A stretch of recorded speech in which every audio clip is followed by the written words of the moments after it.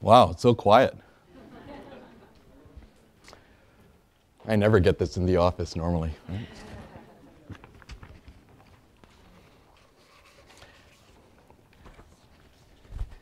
Thank you very much for, for coming. My name is Jamal Khokhar, and I'm the, I'm the one that just spilled water on everybody's computer. So I'm president of the uh, Institute of the Americas. Um, actually, if somebody could come, I actually did spill water. So.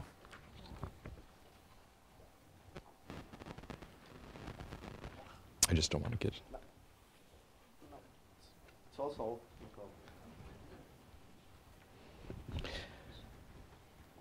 Good. Well, look, thank you very, very much for coming. Um, it's a great gathering today on a very important issue. So, today's event is about borders, um, but a very peculiar and interesting part, and a, often a subject that we don't talk about borders, and we'll lead into that. But before we talk about that, what is the one universal truth about borders? that borders are, in fact, universal. So much so that, that since the dawn of civilizations, our communities, our societies, our countries, our neighborhoods, oftentimes even our races and our religions are defined by borders. So they've evolved over time. They may be demarcated voluntarily, involuntarily,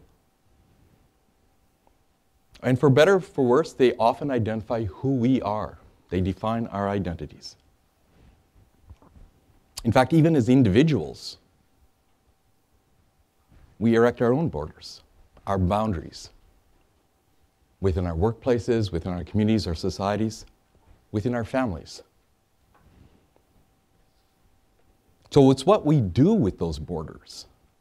It's what we do with those borders with each other, within our workplaces, that will define to a certain degree our health, our survival, and the ability for us, either individually or collectively, to achieve greater potential.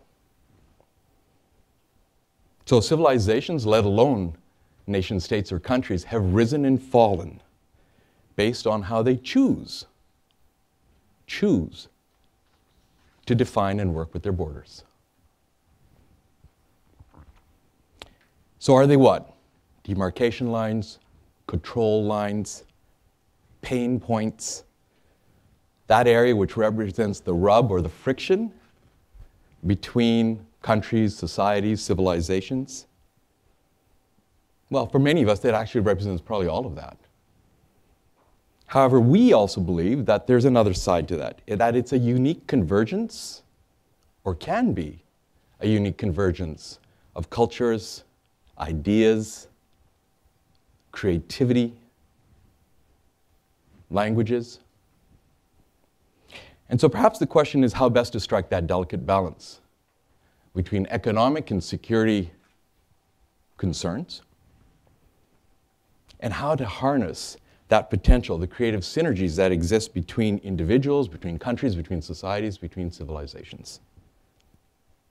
So these are just some of the questions that prompted us to come together today. We're delighted that we have with us a great collaboration with the Aspen Institute's Latinos in Society program. And that was founded on a shared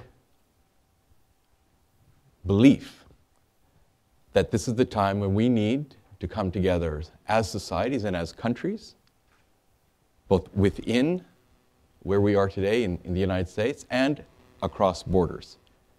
To think more proactively and purposefully about how best to harness the potential that exists between us.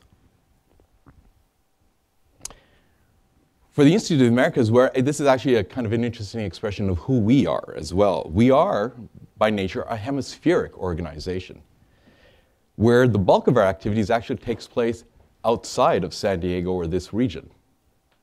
It's in Latin America, it's in the Caribbean, it's in Central America, it's in South America generally. And we hold some activities here as well.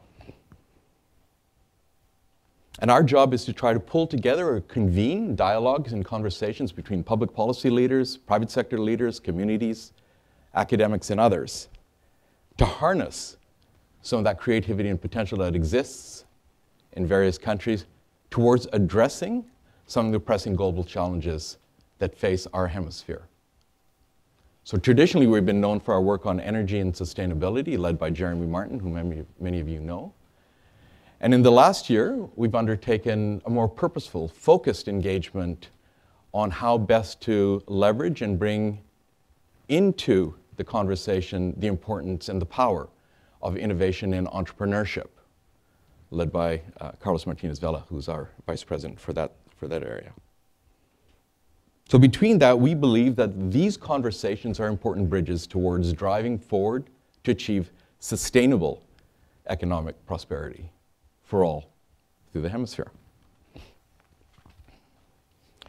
So, as, as such, we're actually dedicated to, to work with the forces of the many organizations that exist here in, uh, in the San Diego region um, towards addressing the issues that are locally important because we consider ourselves part of this neighborhood as well despite the fact that most of our work is outside of here. And with that, I'd like to acknowledge our um, event advisors, uh, Ruben Barrales, I think is here somewhere, Cat- Catalina Valencia, over there, and Bob Morris. Um, I'd also like to, to greet many of our friends here. I won't go over all the list of names because there's too many to, to, uh, to go over. We'll be del- we're delighted to have um, uh, Ambassador Marcela Celorio, who is the Mexican Consul General uh, to San Diego, join us later this morning. She'll be leading one of the panels, rather moderating one of the panels. I don't want to give her more work than she already has. We're also very delighted and honored to welcome our colleagues from the Aspen Institute's uh, Society program, Monica Lozano, the chairman. Thank you very much for being with us today. Abigail uh, Golden Vazquez, who's the vice president and executive director of the Latino Society program. Abigail, Thank you for your hard work. And of course, your collective staff with you, uh, Haley, Lewis, and Maria. I know they're, they're here probably busily working in the, in the past. And of course, I'd be remiss in not thanking and acknowledging my own team, um, Carlos Martinez, um, who's the vice president for the Innovation Entrepreneurship Program here, and supported by uh, a very large team Sherry White, uh, Jacqueline, uh, Yvette. So um, thank you all very much for that. I look forward to today's conversation. I have the pleasure of now just sitting back and learning and conversing with the rest of you and let these guys do all the work. And with that, Abigail. Thank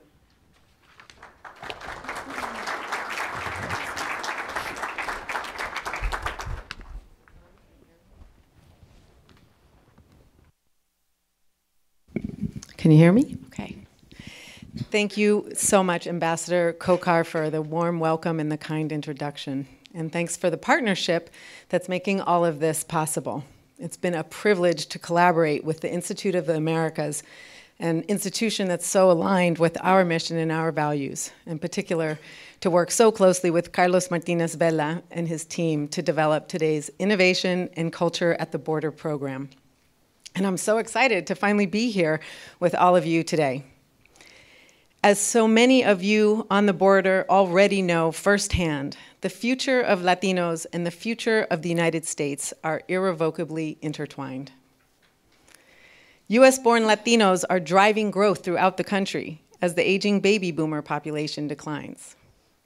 The phenomenon will continue into the foreseeable future with US Latinos expected to reach a third of the population by 2060. San Diego has already surpassed that number, as have most border communities. Given these trends, not just on the border, but throughout the entire country, it's no exaggeration to say that the future of the United States rests on Hispanic Americans. The Aspen Institute founded the Latinos in Society program in 2015, recognizing that this seismic shift was taking place largely under the radar and that it required focused attention and collaboration at the highest levels among thought leaders, opinion shapers, and policymakers across sector, ideology, origin, and ethnicity. Known for its nonpartisan approach to convening at the forefront of cutting edge ideas, encouraging thought into action, and developing the next generation of leaders to address the critical challenges of our times, the Institute was the perfect place for such an initiative. In this tradition, the Aspen Institute Latinos in Society program provides a nonpartisan forum for conversation, learning, and idea generation on critical issues impacting Latinos and the nation.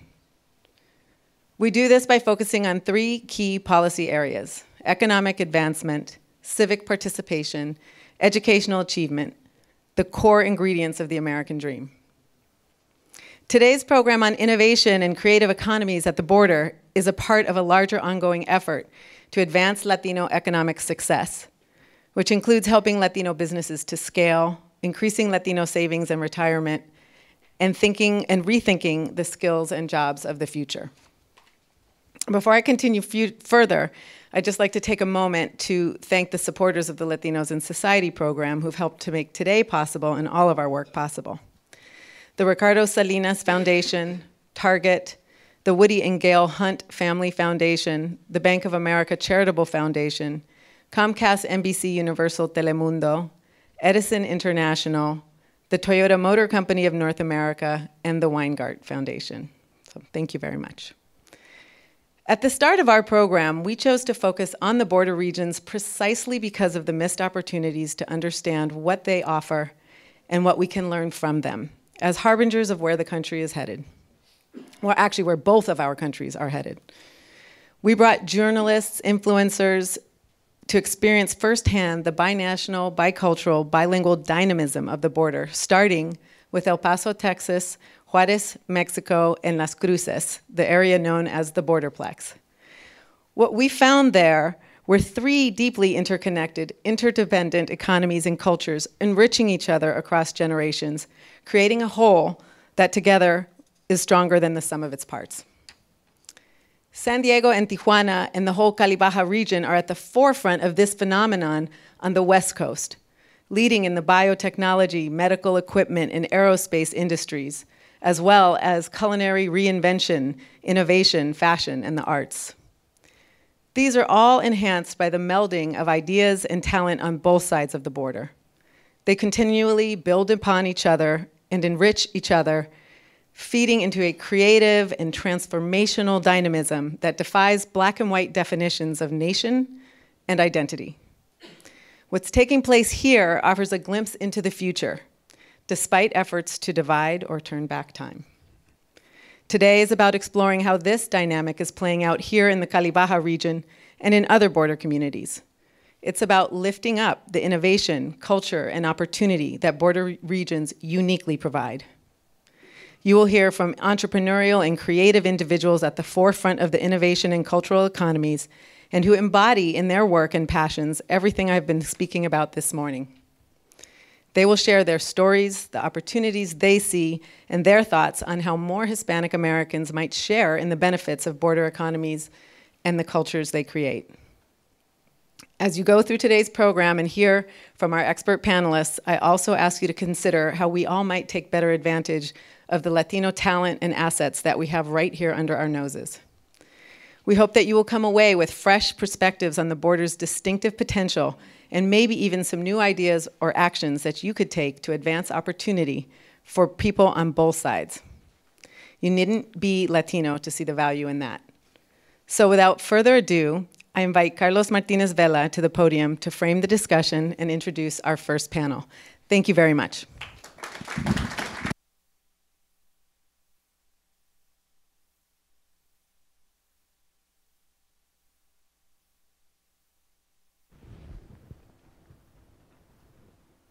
Is it working? Yep. Should I turn this off? Should I turn it off? No. Button? Okay. Just looking at the water here. Everything is good. uh, uh, welcome, everybody. It is really a, a, great privilege and a pleasure to welcome you all to Innovation and Culture at the Border. Um, we've been uh, uh working on this event for a while, so it is great to see such a great turnout here today. Uh, so many friends uh, today. It, uh, it is really wonderful to see so many new faces, but also some faces that in my year here in San Diego have become friends. And certainly it's a great pleasure and a great privilege to welcome our colleagues from the Aspen Institute uh, Latinos and Society program with whom we have had such a great and spirited collaboration. And I think that's going to show uh, today. Uh, before I start, I would like to thank our, uh, not only our advisors of the event, who Jamal already mentioned, but also our event supporters, Qualcomm, the Smart Border Coalition, Gustavo de la Fuente, and the Torrey Pines Lodge. thank you very much for your support.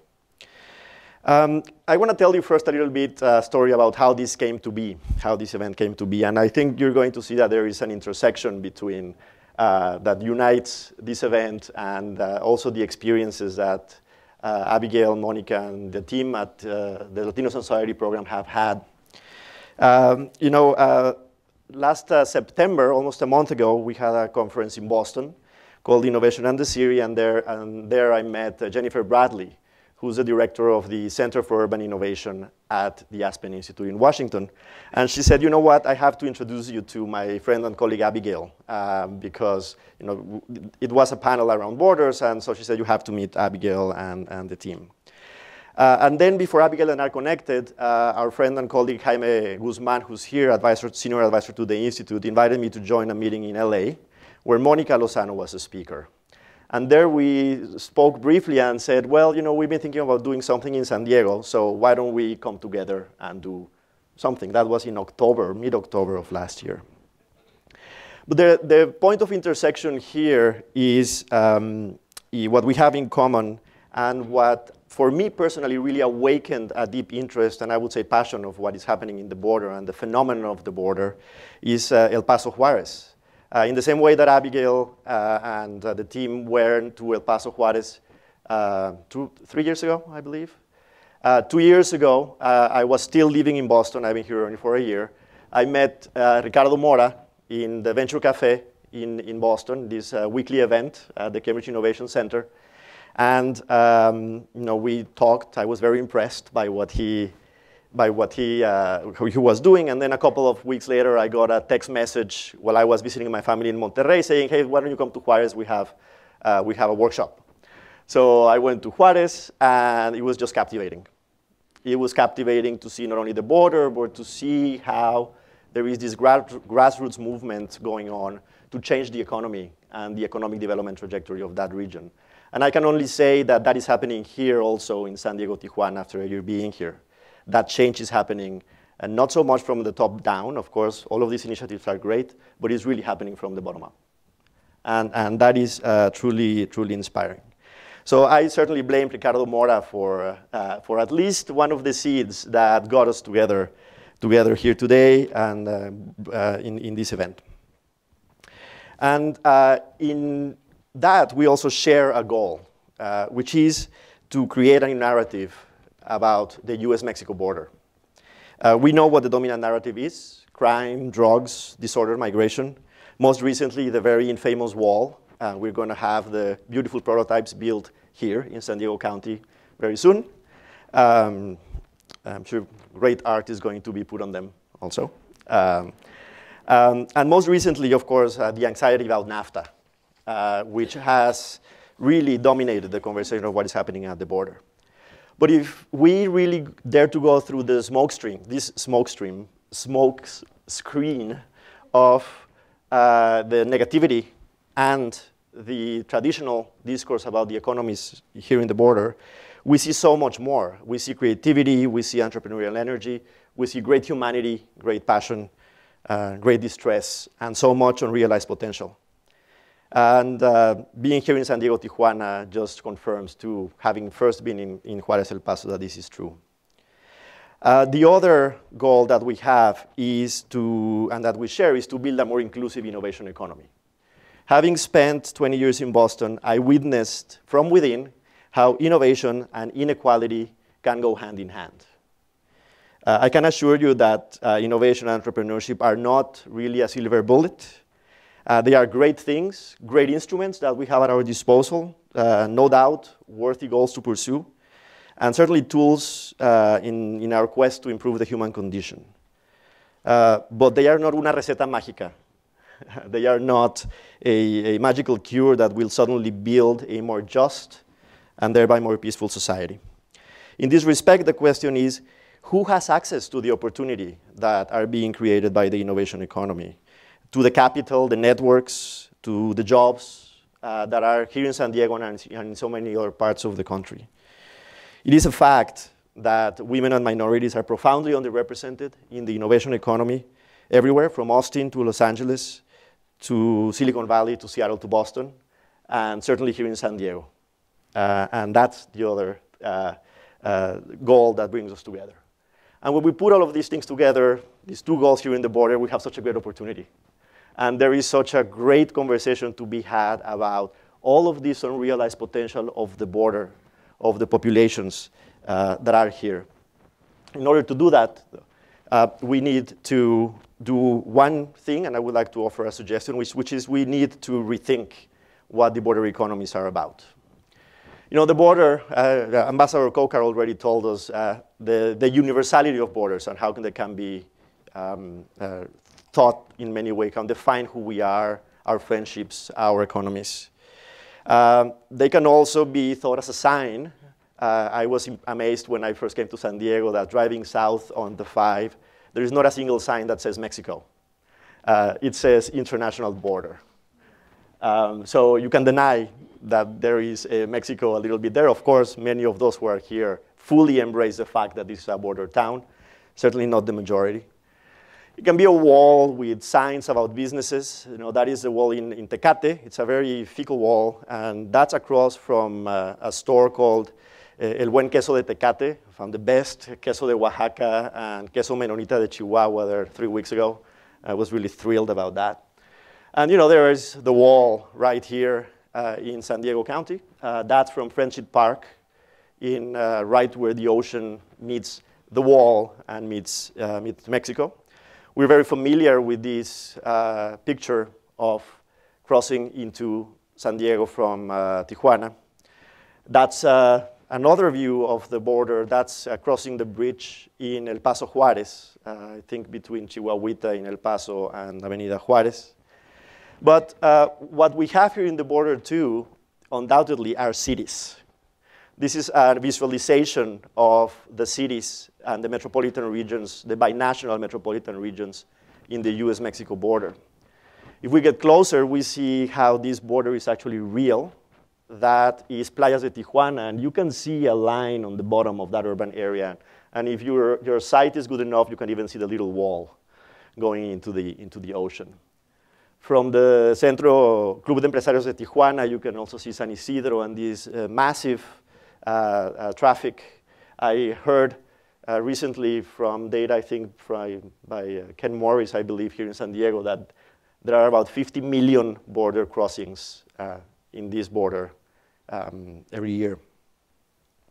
But these are real cities, and uh, if you look at them uh, close enough, uh, in some places they look, you cannot even see the border. That's El Paso and Juarez. So this, you can where is the border there? You can barely see it, right? You know, this is one of the neighborhoods in El Paso, the nice neighborhoods. Uh, the X on the other side is telling you that Mexico is, is there. So that's uh, the other side of the border. Um, this is a view of the Tijuana River Estuary from Friendship Park in Playas de Tijuana. Uh, that's uh, the beautiful beach on the other side, empty, uh, if we look on the other side, it is so full of life. it's one of my favorite places here. You, you, should, you should go there. Um, and, but it is very real, you know. Uh, this is a sign also in El Paso Juarez, and you can find these signs in almost every border crossing that we have, whether it's in the Cross-Border Express or in uh, uh, a concrete block in Tijuana Tecate and other places. And these are very human too. Uh, you know, the pink uh, shirt are the, the uniform of the, of the deported mothers of the dreamers. Um, so whose children uh, are in the United States, at least for a few more months. Uh, the, the guy with the bag is a veteran, as many uh, uh, uh, immigrants who have fought wars for the United States, and a few of them have been also deported. He was, by the way, subject of a pardon, of a pardon by um, Governor, uh, Governor Brown. And there are places of division. This is again from the US side. Uh, the, uh, the, mother of this family is on the other side of the, of the mesh. Uh, this is the family on this side. So there is a lot going on here. There is uh, great pain, great tragedy, but there's also a lot of hope. I would never think, but I think if I ever get married, I might get married there uh, by the wall, and there is a wedding there. You can, you can barely see it. And this kind of spirit is really everywhere where we look in our border cities on both sides of the border. Uh, this uh, is Tijuana. You know, this is the kind of spirit, of creative spirit, and embracing what these, uh, the communities and the cultures uh, that are here uh, mean. Uh, last uh, Sunday with my colleague Jackie, we were at uh, Mariscos El Pulpo in Barrio Logan, and I told Liz, you have, I have to take a picture of you. Uh, not only because you're beautiful, but because you have cantinflas as a tattoo, right? It's, it, so it is this magical blend of things that is happening here that creates so much opportunity. We see all these, and still we find a very limited border conversation, which is all about optimizing flows. It is about optimizing flows of people, capital, and goods as fast as possible and as securely as possible. That's the big concern that tends to dominate the conversation. And of course, today there is another concern, which is on the Mexican side, it's NAFTA. Uh, that's um, uh, Flextronic, Flextronics Maquiladora. And this has driven the economic development strategy in Mexico's border cities for decades. And the strategy very often continues to be, let's bring in more boxes. Um, you know, these big boxes which are making things inside. Uh, today, this is called NAFTA. It is uh, you know, also about foreign direct investment and trade, maquiladoras, manufacturing, where the advantage uh, are low wages. And this is really a strategy of growth from the outside. And you can see this physically on the ground in these lands. You, well, you see all of those boxes here on both sides of the Tijuana-San Diego border, and you would see the same picture in Juarez. And we know how successful this economic development model has been. It has been undoubtedly very successful, but it has also had many dire consequences uh, that we see also every day uh, in, across the border. You know, these are the, the little bird, bird, bird cage homes here in Tijuana. These are abandoned homes for workers in Juarez, uh, close to the maquiladoras, and there are entire neighborhoods like that and these houses, by the way, are tiny. Uh, um, so it would, you would think twice about living there. I think we would think twice, but many others have no choice. So amidst all of these, we really need a new conversation, and that's what we're here to do today. And the new conversation is about unleashing the creative and economic potential of the US-Mexico border. And this is a strategy that uh, we should call growth from within. How do we mobilize ourselves here in our regions in order to create a new economic dynamic that is not just about bringing in money and more boxes, at least in Mexico, that is not just about optimizing flows, but that is about creating things, an economic dynamic from within. It's already, the beautiful thing is that it's already happening. It's, uh, it's happening in Tijuana. You know, that was the opening of Tijuana Innovadora. Jose Galicot is here with us. Thank you for being here. And uh, Claudia, I think, is here, and Laura. Uh, there's the Frontera founders right here in Tijuana, San Diego too. Uh, Guillermo Mejia, who's a panelist in our first panel, is one of the leaders of this. There is this incredible dynamism happening at the Technology Hub in Juarez and in many other corners and co-working spaces and places on both sides of the border that are making a difference. So in short, uh, that's a picture that a friend of mine took in Los Angeles uh, three days ago in an art exhibit about the border. The US-Mexico border is a place, imagination, and possibility.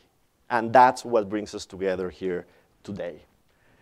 There is this great imagination everywhere. That's the technology hub in Juarez. There is a beautiful mural there that speaks about looking to the future and, and, li and liberating from, uh, the, from the border, from the maquiladora. It's happening here in Tijuana uh, in many, many ways you know, in Moda, this great design culture. Uh, that's Border X Brewing uh, uh, here in Barrio Logan, our panelist in the second panel here. And amidst all this, uh, just to finalize, there is one question that we're dealing here today. There is this wonderful racial dot map of the United States. I encourage you to check it out, uh, created by the University of Virginia. You can see it every single part of this country. That's San Diego. And uh, you can see the, the orange dots are uh, the Hispanic uh, population, which is massive. But if we look at where the innovation economy is concentrated, it's up there. Um, so we have a challenge here and a tremendous opportunity. And that's why uh, I would like to think of the US-Mexico border as the land of the pioneers of the 21st century. And we are very lucky today to have here today uh, quite a few of them with us. Um, in the second panel at 11 a.m., uh, we will have uh, Jim Brown, uh, David Favela, Jesse Selayandia. They will introduce themselves during the panel, uh, but they bring together this wonderful example of how art and culture create opportunity, being uh, moderated by Marcela Celorio. And in our coming panel, and I invite everybody to come here, uh, Regina, Guillermo, and Ricardo, um, uh, we're going to talk about innovating at the border and reflect on how to build an inclusive innovation economy. And with that, I invite uh, Regina Bernal, uh, Guillermo, and Ricardo to sit here with us today.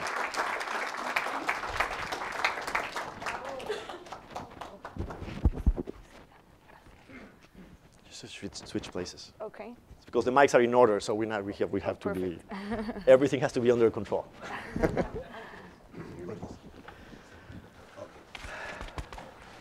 Um, well, uh, gracias Regina, este, Guillermo y Ricardo por estar aquí con nosotros eh, el día de hoy. Uh, it's, a, it's a great pleasure to have, you, to have you here and to have you share this conversation with us and your experiences. And uh, you know, we don't have, we, we, we have enough time to have a great conversation.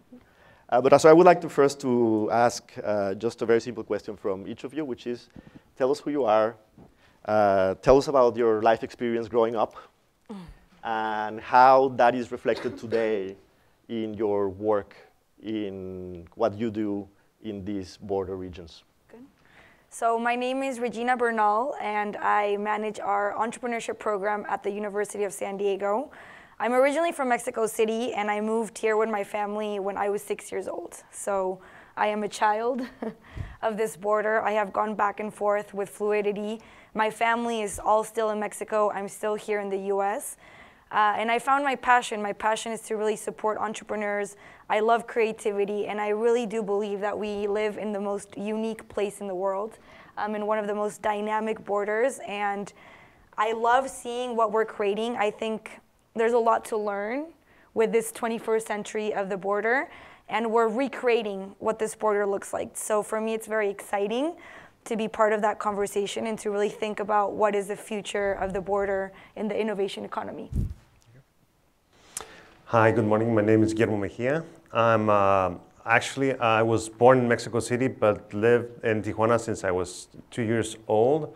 I'm, uh, uh, I have BA in graphic design, but I, since 94 I've been working in, in tech with websites and moving to more elaborate projects. Right now I work with MindHub, which is a tech incubator. We help, uh, help startups um, launch their MVP, either get their first customers or actually grow.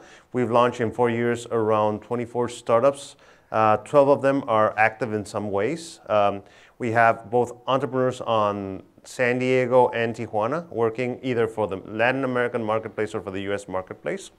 Um, in a personal note, I mean, I've lived in the border uh, all my life. We I mean, I consider myself a local Californian, even though I'm not uh, US citizen. I spend my youth going to concerts, going to colleges, working for US based companies. So it's like uh, I feel this is my neighborhood, right?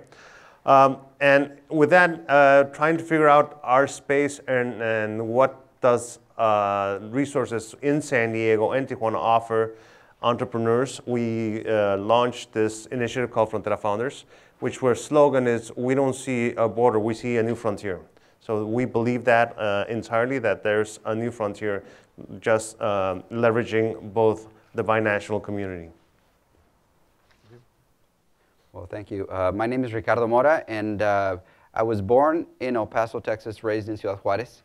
Uh, spent most of my life in Juarez, went to U.S. schools, and uh, my background is that I've I got involved in business uh, in the cellular industry and the food industry. Uh, and today our passion is really moving the needle on helping entrepreneurs, on helping local businesses, and on helping industry. So we're, we're spearheading a model called Technology Hub in Ciudad Juarez. Uh, we're uh, helping people come together. Uh, we, we call this Connecting Minds and uh, bringing the community together in a space to collaborate. Currently, we have over 40 companies in our ecosystem.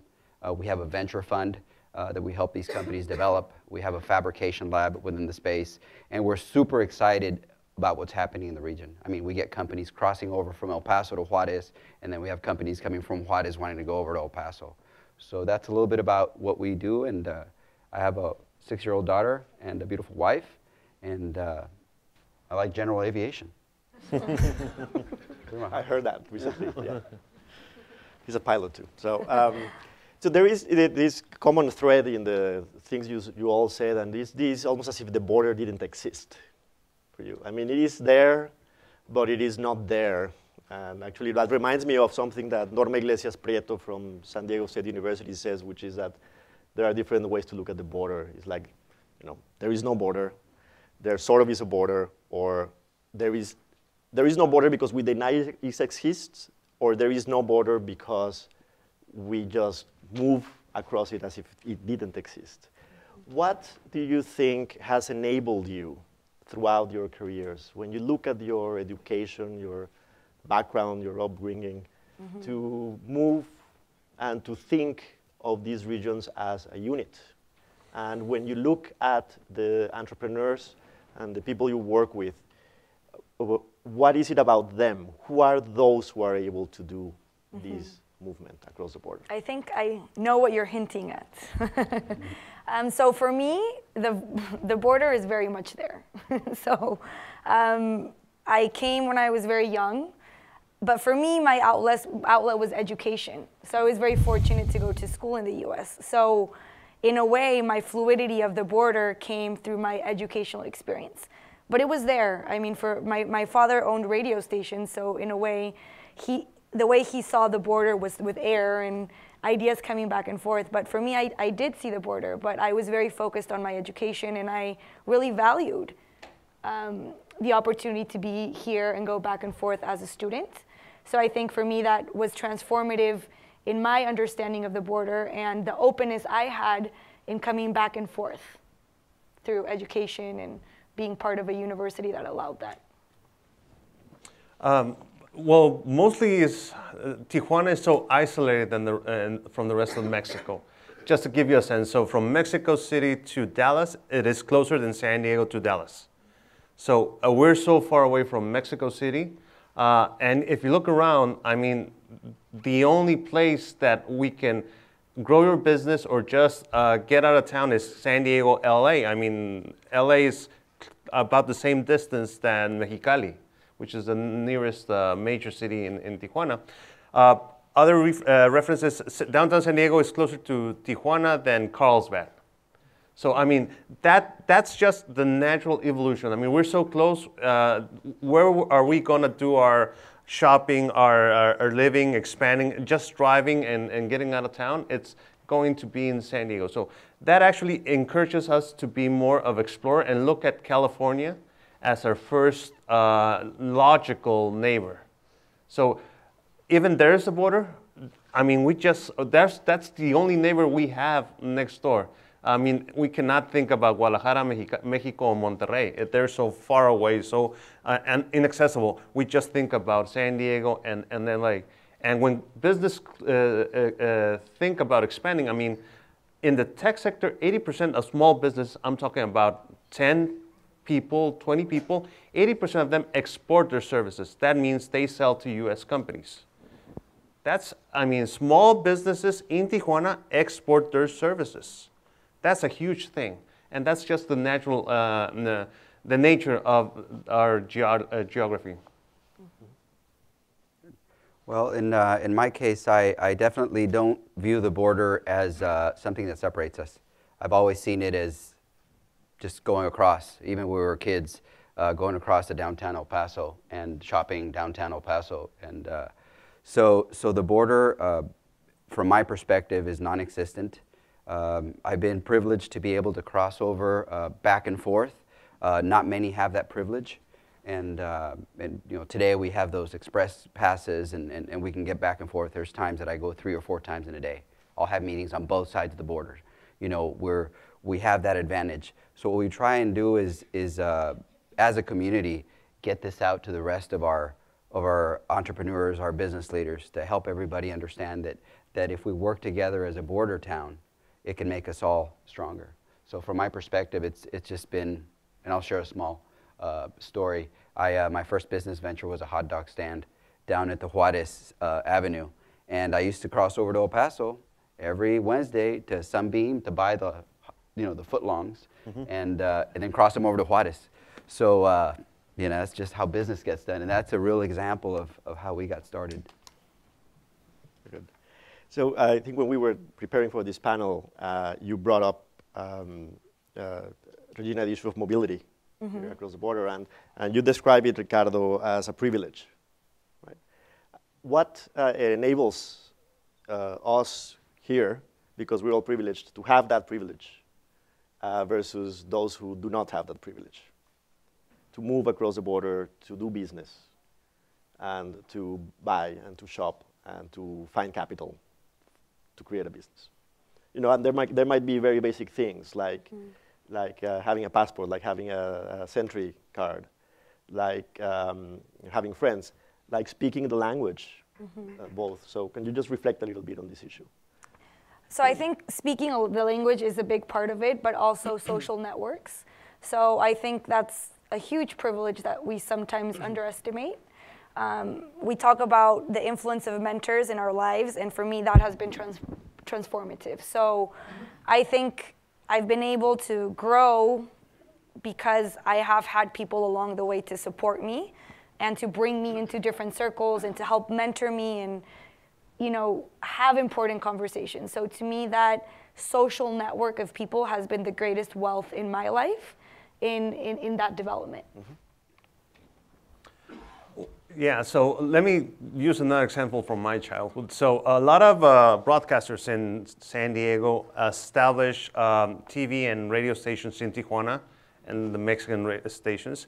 And it's odd because when I was a child, I only had one station in Spanish and six in English. So there's a full generation of people who grew up watching American TV in, in the across the border.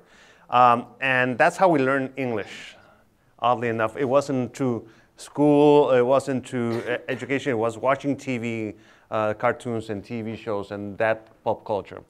Uh, so mobility is more than just about uh, how close it is. It's about uh, cultural identity, about who we are, about life experiences. So uh, it's, again, if you go to San Diego, you'll see, or LA, you'll see a lot of people sharing common experiences with you because they grew up with uh, experiencing the same things you are. And it's sometimes it's different uh, from the rest of Mexico. And even Mexico has like three areas. Uh, Mexico City and, and, and Guadalajara has a similar experience, but the South, uh, more rural experience, are so far removed from our northern life experiences. So it's only natural that we gravitate to those type of um, uh, uh, we look for aspirations in jobs in doing businesses that are a match with us and we buy products and we want to live uh, with something we identify. So we're not going to go back and look to mexico city or guadalajara because they're not within our, our, our own personal lives. Well um you know, I'll add, and, and, I think mentorship is very important. We've all had our mentors, and we've all had people that helped us along the way. Um, that's part of our business model, paying it forward. And uh, in, in our case, in the work that we do in Juarez for innovation on entrepreneurship, we have several companies that showcase this cross-border, you know, going back and forth and understanding how they're getting enabled to do this. And an example is a company called uh, Negawatt. They're a US-based company, started in, a, in an incubator in El Paso, uh, led by, uh, by a retired, uh, uh, you know, served in the military. And uh, he has his office in Tech Hub in Ciudad Juarez. And he's helping the industry on their, on their, um, their energy sector. So that's a company that sees it naturally. Uh, you know, he served in the military, and now he, you know he's every day he's in Ciudad Juarez helping industry. We have another company from Ciudad Juarez that's called Traceability, and this company is uh, is being enabled to go to the U.S. and they do automation. In this case, they're they're working with the Internet of Things, uh, and they have a program that that allows uh, companies to be able to track their employees as they come into the workforce to have a, a faster start. So, so for us, we see this, this happening. This, these are the innovation uh, uh, themes that are happening across the border, and we're excited to share that. And, uh, and you know, they get enabled by having a platform. They get enabled by having mentors and, uh, and being able to work in this, in this regional ecosystem. There is a, another common theme in, in, the three of you, which is this creation of these spaces. In, in the case of uh, of Guillermo and, and, and uh, Ricardo, actual physical spaces that become these meeting points, these convergence points. Uh, I think uh, uh, uh, Jamal, you used the word convergence. Um, so it's almost as if within these border towns you had places where it's free to come together. In your case, Regina, the, the, the binational mm -hmm. venture competitions that, you, that you've done. Can you reflect a little bit on this issue of the creation of these spaces and why do they matter? Why do they matter in order to enable to do business here at the border? But why do they matter also to include uh, people that might not normally be included in these conversations? Mm -hmm. I think that it doesn't have to be a physical space. I think we're fortunate that there's a lot of openness in San Diego to help curate the space, even if it's not our own. So uh, for the University of San Diego, what we've done with our pitch competition, we love including students from across the border, not just from across the border. We have all different nationalities. And what you see is the tackling of creative problems with a lot of different solutions. And there's wealth to that. If you're always listening to the same views, then you're always creating the same thing over and over again. But when you're able to bring diversity into the conversation, then you start to listen to different things. And it's not the easiest, and I think sometimes we miss the point. For example, we had a boot camp that we did with Guillermo, and we invited some students from across the border. And for us, we just said, come. But maybe we hadn't thought about public transportation, or we hadn't thought about how they would arrive. So for me and for us, it was a learning curve of saying, if we want to create these opportunities, we also have to think about um, what this looks like and how we can facilitate those connections as well. That's when the border turns very real, right? When, right. when, when you don't have public transportation, when you are waiting for two hours in line. And, and that becomes a real obstacle there. I mean, what about you, uh, Guillermo, in this? So yeah, so we have a 4,000 square foot building. We have 150 developers in house, and and the incubator is one just one part of that space of, of, of, of the, of the MindHub. Uh, we share those resources. But one of the things is actually uh, um, having, breaking this thing that, uh, that oh, the, the US and Mexico are like something different, right? So one of the goals is to actually achieve uh, that sameness, that we can actually compete with US companies, that we actually want to, we could be at that level and offer that quality, that type of service, uh, so one of the reasons why we participate in the B, uh, B2 pitch is that we want our startups to compete with US startups. We want them to be as good as them, and we want them to beat them. Ah. Uh, yeah, we want to beat the. Ah, okay, uh, yeah. Okay. So, so, but that that's a learning curve, and actually training them. So, and facing those added challenges, because let's face it, the border is always going to be, the crossing is going to be always a challenge. Uh, being Mexican Latino has always been a challenge. Having to learn and to pitch in English has always been a challenge. We need to overcome that, those challenges, no matter uh, what happens. We need to actually get those entrepreneurs to face what's going to happen. Uh, raising capital, uh, it's going to be a challenge for uh, Latino startups. So let's go ahead. Let's go ahead and let's face it. So one of the ideas within that uh, is we understand where we need to be we're trying to find those spaces that allow us and actually help us achieve those, those goals. At the end of the day, once we get to that place, we'll see the results. But that's why the, the, the physical space is so important. Mm-hmm. It's a space where you, we actually push them, but you have a, a, a, a home that you feel secure.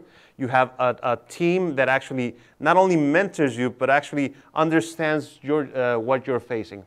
On the other side, if you're uh, a US-based entrepreneur, or let's say an Argentinian or a Brazilian startup, and you want to expand either to Latin America or you want to expand to the US, that's like a soft landing. That space, we understand the culture, we faced it every day.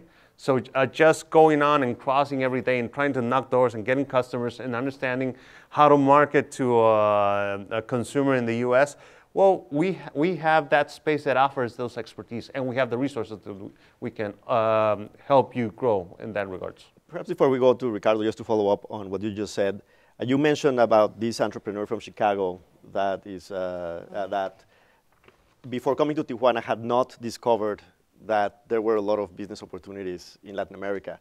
Uh, so talk about that a little bit, but let's talk about, you know, we have here, we saw the, the dot map of San Diego, Tijuana, this massive population who would be ideally bilingual, bicultural, many of them not binational, right? What do you think of this idea of this population here, many entrepreneurs mm-hmm. who have small businesses, having access to the Latin American market. And what do you think of that market as an opportunity for them? Well, overall, the Latin American market is huge. It's like 300 million people, and it's underserved, greatly underserved. Uh, just to give an example, so you probably know Intuit or like uh, QuickTax or TurboTax. It's been in America for like since the 80s, right? So we launched the first type of uh, uh, uh, system for Latin America. In that regards, it's really been underserved for the last 40 years. So if you want to go and really take that low-hanging fruit, Latin America is a great starting place. Uh, again, the U.S. competitive space is so crowded uh, people are trying to uh, uh, go to Silicon Valley and just trying to compete there. Maybe you probably need uh, some space to actually grow, understand your need. So Latin America offers that great place, as, and there's no better space to grow that in, than in Mexico, and I believe in Tijuana. So sorry, but uh, Mexico has such natural uh, opportunities within that. So we have not a Chicago-based, we have a Chicago-based startup, but a LA-based startup uh, was thinking of doing uh, their own startup uh, for the U.S. marketplace. Uh, we were, they were invited by the U.S. consulate to Mexico, to Tijuana. So we talked about his model. And he, dis he discovered that there was a greater need in Latin America. So in one year, from shifting, just trying to discover this project, uh, he shifted from focusing on not only Latin America, but moving from a consumer base to a business model, uh, a B2B model, and actually went to Chile, uh, raised uh, a seed fund, has just finished the seed fund, announced last week he has two customers, one in Chile, one in Mexico, and he's actually growing. And after year two, he's going to expand to the US. And that's an LA based startup that he probably wouldn't uh, achieve that if he started in, in, in, in California trying to do the regular route. So going to an underserved market that actually requires a lot of services, uh, it's, a better, uh, it's a better bet than actually trying to go into a crowded field in California. Ricardo, back to the question of space. You have a very secure space. Can you tell us a bit of the history of why it's such a secure space and why now it's such a hub for innovation and how does it bring people together? Well, we do have uh, probably one of the most secure spaces for innovation and entrepreneurship. Um, we're, uh, we're housed in an old U.S. Uh, consulate facility. Uh, we have a two-acre property, 55,000 square feet of buildings. Uh, so the walls are about two feet thick. Uh, we took off about 70 bulletproof windows. Uh, we still have some in sight, so some offices, you might be housed in an office with a startup that has an actual window where you used to go get your visa in Ciudad Juarez. Perhaps somebody here went and, and got their visa there. Um, so it's very secure, but it, it, uh, it also, for us, you know, millions of people went there to get uh, a permit or a visa or, or, you know, get the dream, pursue the dream. And what we're doing, uh, we're working with the U.S. consulate as, as we speak to get entrepreneurs and companies that we can help them cross over, uh, you know, with our ideas to, to change families and, uh, and to do that. And the space is very important because it allows, it allows it to be real. And what we've learned is that it brings anybody that would like to innovate. And this is entrepreneurs that would live, you know, we have an entrepreneur that travels 50 minutes to an hour from where he lives, you know, up north in, in Ciudad Juarez just for a boot camp. And then we, his friends start driving him back at night because they end late to companies. So the space, in my opinion, is very important. It's a place to mix it up. It's a place to bring art. It's a place, you know, we have an art department. We have the Fab Lab for fabricators. Last month alone, we had 59 events. So we build a lot of content. And you get empowerment women, you get all this, and th this can happen in a space like it can happen at the Mind Hub or, you know, or in universities as well. So for us, the space is very important. It's a, it's a place where we can evangelize about innovation and entrepreneurship, and it makes it real. Thank you. Now let's shift a little bit to uh, I keep saying a little bit. I'm going to stop saying a little bit. Let's uh, let's shift to uh, some very concrete, a very concrete issue related to starting and growing a business, which is access to capital, which I think you all have a perspective mm -hmm. on this, and it's a huge issue everywhere. Uh, it is a particularly uh, big issue here in border regions, and it is certainly a particularly big issue for Hispanics, for minorities, for women. Um, tell us about what you're doing. What is your experience in access to capital and uh, how you are creating these opportunities or not? So it is an area that I nerd out on. I love um, access to capital. I think it makes a big difference between having an idea and then it being left at an idea and not taking the next step. So for me, access for female entrepreneurs to investors is, is a big um, thing that I like to look at. So for example, this weekend we have a conference at USD that will bring female entrepreneurs from all over the world and also investors. So I think we need to do a better job at um, helping to train females with high capital that want to invest, but they're not used to it. They're not used to high risk investment. Um, they've, they're used to a lot of men around them or other people making decisions for their money but not, not necessarily theirs. So I think there's something there. It's, it's not all figured out. We're learning as well, but I think there's groups of women. We actually have some women coming from the Emirates that are going to be sharing their story. So I think it's not just that this region, I think it's around the world, and this access to capital makes a big difference to seeing women succeed, succeed as entrepreneurs and actually launching their companies because many times they have a great idea, they, are, they have traction, but taking that next step is difficult because it's a constant no when they're trying to raise funds. So yeah, overall raising capital, that's kind of tricky. So um, let me start by saying there's no capital in, in Tijuana. There is some capital, but it's mostly focused on traditional like real estate type of, uh, of businesses. There's actually no um, fund that actually understands a tech startup. It's hard to really uh, um, uh, um, get them in, the, in that space. But overall in Mexico, that's fairly new. So in Mexico, I can say that there's no, fairly maybe one, two, they're kind of rare. So it's not really that much that you can go on. Even in San Diego, San Diego struggles a lot with uh, finding uh, capital. Uh, the same issues we've, we discovered, uh, most, mostly in real estate, not a lot of tech startups. Uh, a couple within the La Jolla, mostly focus on uh, medical, um, um, medical and bio um, uh, solutions. Uh, but now, let me give you the other side. So one great advantage that San Diego has is actually if you're bootstrapping or if you have some seed funding, Mexico is a great way to expand your runway. So I mean, we can actually, that's a great way to be more efficient. And actually, if you're at your early stage trying to figure out uh, uh, what's your next space, Mexico is a great place to actually have those resources. But also to discover and validate your, your, uh, your market. So again, San Diego is kind of high, live, high cost of living, California, LA. Uh, I mean, Mexico you can do it for six months and actually spend that time in your product, in your company, uh, accessing customers from both sides of the border, and actually growing and validating. Once you have a proven business model, capital is fairly easy.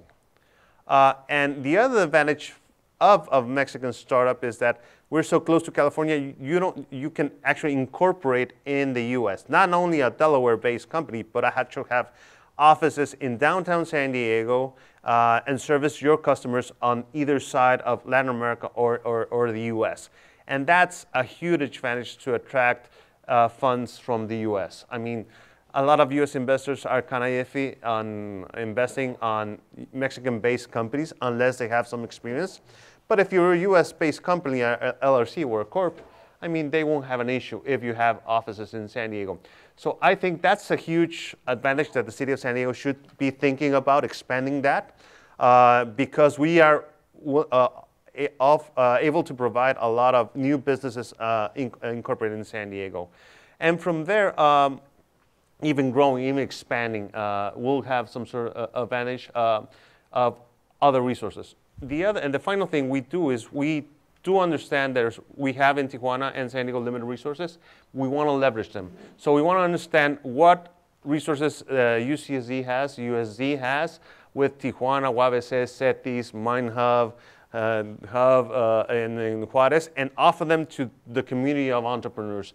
Because in that, there's, if it's not, value, it's not capital, but there is resources that could help you grow and actually make you push. So that's like an alternative way to funding as startups. Ricardo, you have skin in the game in this capital question, so can you tell us about how that came to be and why? Sure. So um, I'm, uh, I'm part of a fund that got started in the border of Ciudad Juarez, El Paso, and uh, we have a venture fund called Sava Investments, and we invest in early stage companies. So, so this was a conversation by uh, 13 leaders of the community, and we had many conversations come together and said, hey, can we build a fund that is a high risk vehicle that will invest in startups, uh, that would help validate business models to take them to commercialization. And besides being a fund for these entrepreneurs, uh, you know, we all decided to put a little bit of capital, uh, set up the fund through many, many conversations, and possibly, you know, have failure with it because it takes a lot to do one of these funds. So for us, uh, today we're a fully subscribed fund. We've uh, invested into nine companies. Some are from the region, Others are linked to the region. Uh, but the most important thing that we found that this capital does is that now we have 60 investors. 55% of them are from Mexico, 45% from the US, have come together and they believe in investing into these type of companies. Mm -hmm. So, so it has been a great uh, vehicle to understand how we can improve our, our, our opportunities for startups and for smaller companies. Uh, in reference to, to the competitions that we do, we also started a coalition uh, called Innovation Frontera. And uh, through Innovation Frontera, we have a, an area called Innovation Frontera Sharks. So we run a competition and we invite some of these investors that are part of the fund to, to come and sit at the chair and be able to, you know, we call it spray and pray. So, so you know, to, to give seed money for the initial just idea phase of this. So, you know, last year there was some spray and pray money. Uh, there's three companies that are still alive. And now they're getting ready to pitch to the Saba Fund, which is amazing. And, uh, and, and uh, so I encourage, you know, this region to come together, get a couple of, of thinkers in this process to build a fund. It doesn't require a lot. It just requires people coming together. That's, that's basically it. I was going to Thank you, Ricardo. I was going to ask both uh, uh, Regina and Guillermo. There is indeed this massive wealth in this region. Sure. Uh, a lot of it is Mexican, on both sides of the border, by the way. A lot of the wealth is, is, uh, is, of, uh, is of Mexican origin. Um, what would it take to unlock, let's call it unlock, but I mean like a, a desatorar esa riqueza mm -hmm. that is going into real estate? for the most part. And by the way, this is not unique here. Being from Monterrey, I can see that. Uh, it's sad to see that in one business of Mexico, mm -hmm. the only thing you have going on are buildings. Well, that's not the only thing you have going on. There are many, many other things going on. But the question is, how, what would it take to redirect that wealth? And Ricardo, maybe you can comment on how did that happen, you mm -hmm. know, in, in, Juarez El Paso? You know, one of the remarkable things there is this uh, the sophistication of the civic and business leadership that exists there and have this vision of the, of the economy. Mm -hmm.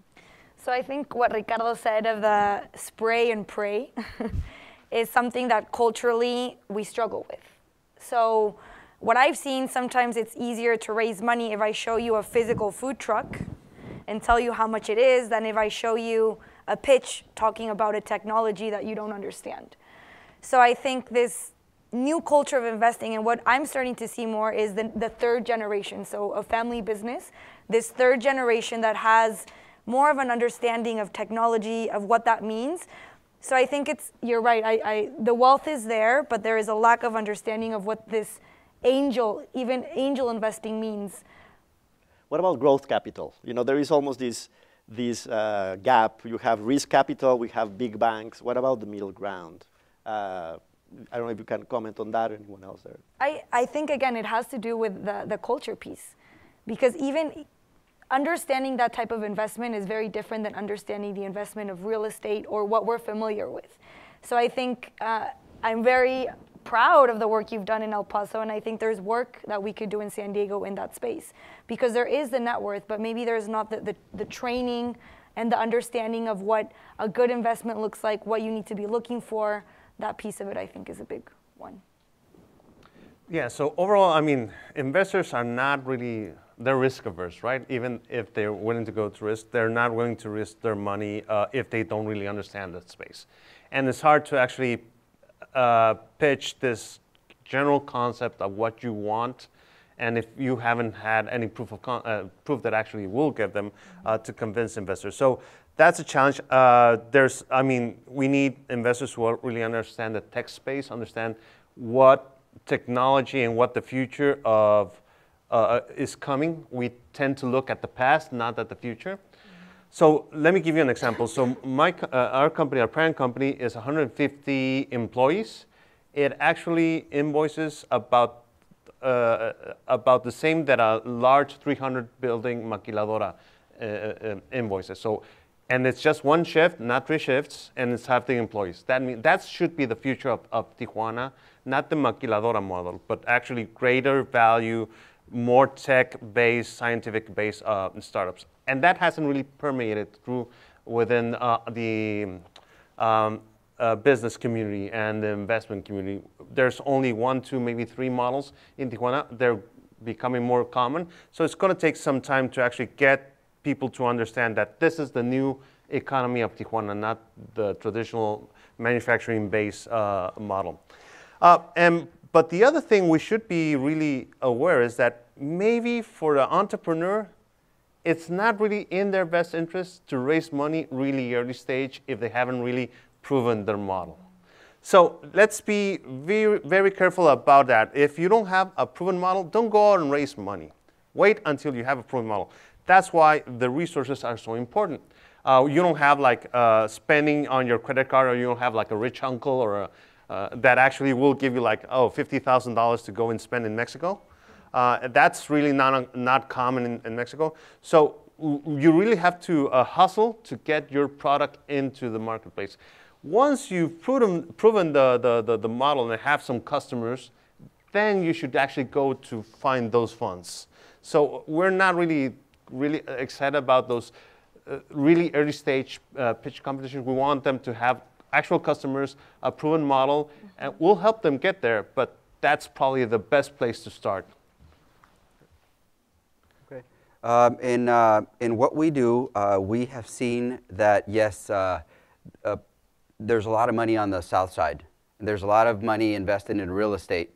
Uh, but what we have done is that through many conversations and uh, many meetups and talking to the economic development leaders of the community, we have been able to get them to understand our value proposition for the 21st century. And, uh, and we always call this, you know, evangelizing about innovation and entrepreneurship. Um, I, I mean, I remember having these conversations. We have a pitch deck and we say, listen, we're trying to move the needle on this. Uh, will you give us some money so we can sponsor a project? They're like, nope, you guys always come to us for money. Today, the story is different because we've been at it. We've been evangelizing. We've been showing what's been happening. So, so I, would, I would say that, that capital is there. We just need to be showing the community leadership how they can invest a little bit of their money into these startup, you know, startup companies or already companies that are accelerating. Uh, we tell people, and this is what's going to happen in the next 10 years, from Technology Hub, we will build a unicorn. And that's a billion dollar company, and we'll be part of it. And we want the investors to be there and be part of this. So that's part of our, of our pitch to bring this community together to understand that risk money on startups is, and, and, and companies is the way to go. Uh, we have uh, time for questions. There are microphones uh, around the, uh, the, um, the, room. Uh, please wait for the microphone uh, to you. And let's start on this side. One in front, two, yes. And then this side. Yeah. Good morning. My name is Carmen Palafox, and I'm a venture investor. My focus is on manufacturing. And so I'm, I, I welcome risk. Mm-hmm. We are making our first investment into a Mexican SAPI. So I'm very excited about the cross border opportunities. Um, at our venture fund, we also have an innovation hub where we support companies that are doing the Internet of Things, robotics, wearables. We do a lot of hosting for other countries, Singapore, um, China, all these delegations that come to learn more about how they can promote entrepreneurship. So I'm wondering how we can build that bridge with Mexico. What is Mexico doing to support innovation locally? Well, uh, there's, uh, so we should talk. I mean, one of the problems is within that, we, we support innovation. Uh, uh, within the manufacturing space, uh, it's kind of a hard sell, especially if we're talking about uh, risk and funding. If you want to fund a first run, it's still harder than just funding like a regular software startup. there's huge opportunity. We have in, in Baja and whole Mexico a huge space of manufacturing uh, capabilities. And we have the talent, we have the expertise. Uh, we're really good at solving processes, and, and we have the supply chain fully developed. What we don't really have is people who understand the future opportunities. They're still looking for foreign investment, coming into the area and, and launching, we we need to generate that uh, intellectual property. On the scientific side, uh, we still haven't really developed uh, a scientist who are willing to leave academia and research and actually launch their own startups. And, and bridging that scientific and business side is a huge issue. So uh, we're pushing that uh, forward. So I think those two are the challenges. Um, getting people to skip uh, the traditional contract manufacturing model to actually innovate and go after uh, that higher uh, return type model. Uh, and, and getting uh, the, the scientific and, and, and, and, community to think about it not in terms of science, more in terms of business. Ricardo, any comment there? Or? Uh, on, on what we have seen, uh, and I'd love to connect and, and, and, you know, get our business cards. Uh, you know, on the three levels of, of engagement for our community, which it's, you know, if it's public, uh, we have seen the Mexican side of the government starting to step up. Uh, the Secretary of Innovation, for instance, just sponsored, is you know, one of our larger sponsors for a huge event that we do in November. It's a binational event. So they're stepping up to, to you know, putting money on this. Uh, on the uh, on the businesses uh, or you know or the companies across the border, they're also part of our investors. So, so they're understanding, you know, the, the ways to, to, to do this. And uh, on the manufacturing side, it is, as you say, difficult to, to, to build a startup in that sector. However, manufacturing is also partnering up with what we're doing. I mean, we've done 12 of the leading manufacturing, uh, you know, connections and, and uh, collaboration agreements within the last year. So, so it, it all comes together the more content that you can bring them, uh, for us has been an experience that, that, that government is stepping up, uh, the local leadership is stepping up, and also the industry in our case. Thank you. Uh, there was a question, Vincent. Yeah. yeah, let's see if I can let's let's see if I, I can articulate this. So there's some themes here about exclusion, inclusion, differentiation. uh, something that's very new, trying to make things happen that haven't happened before, and so on.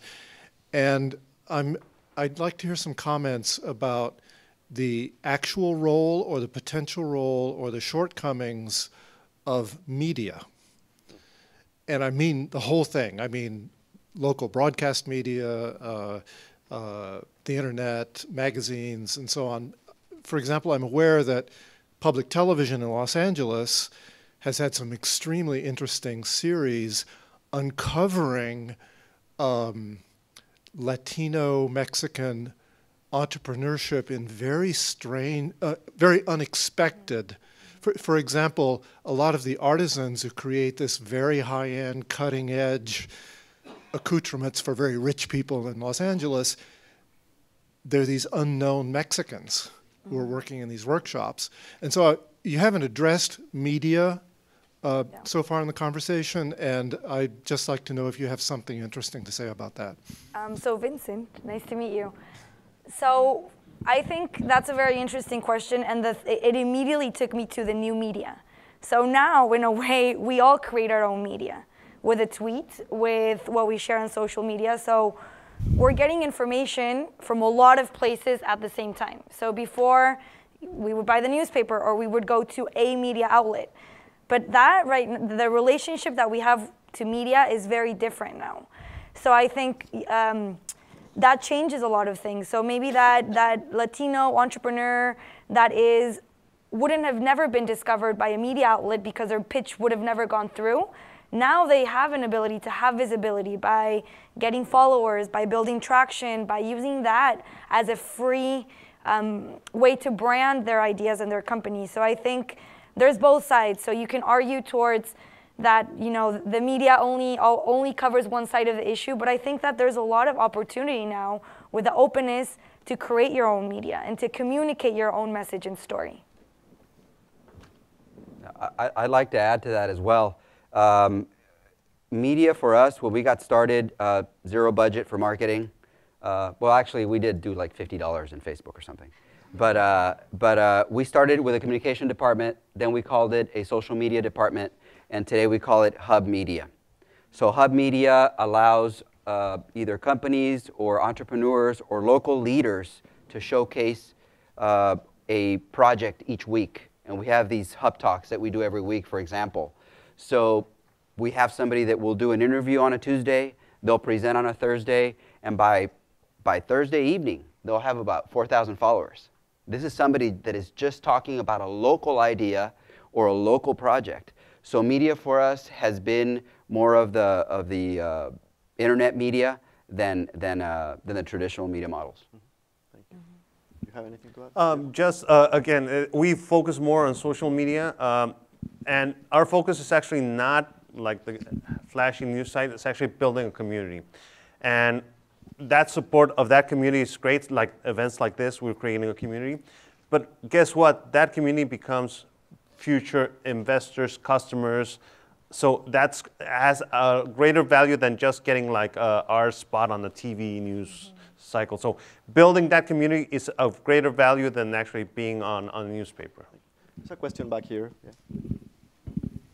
Dr. Francisco Valle, uh, I have uh, two related questions. What is preventing these big time Silicon Valley type of investors for going into Mexico, in your opinion? Because, for instance, they, they invest in all kind of crazy ideas. If we have, say, six years ago, we're going to invest in a hotel chain with no rooms, we're going to invest in a taxi company with no taxes, we all have laughed, right? But there are some of them that look for those kind of things. On the other hand, right, what is preventing uh, companies as well as uh, Mexican companies or organizations, as well as the Mexican government, for promoting, you know, what they can offer? Because it's nothing for these investors to go to India, to go to Scotland, you know, go all over the world. But why Mexico is not there?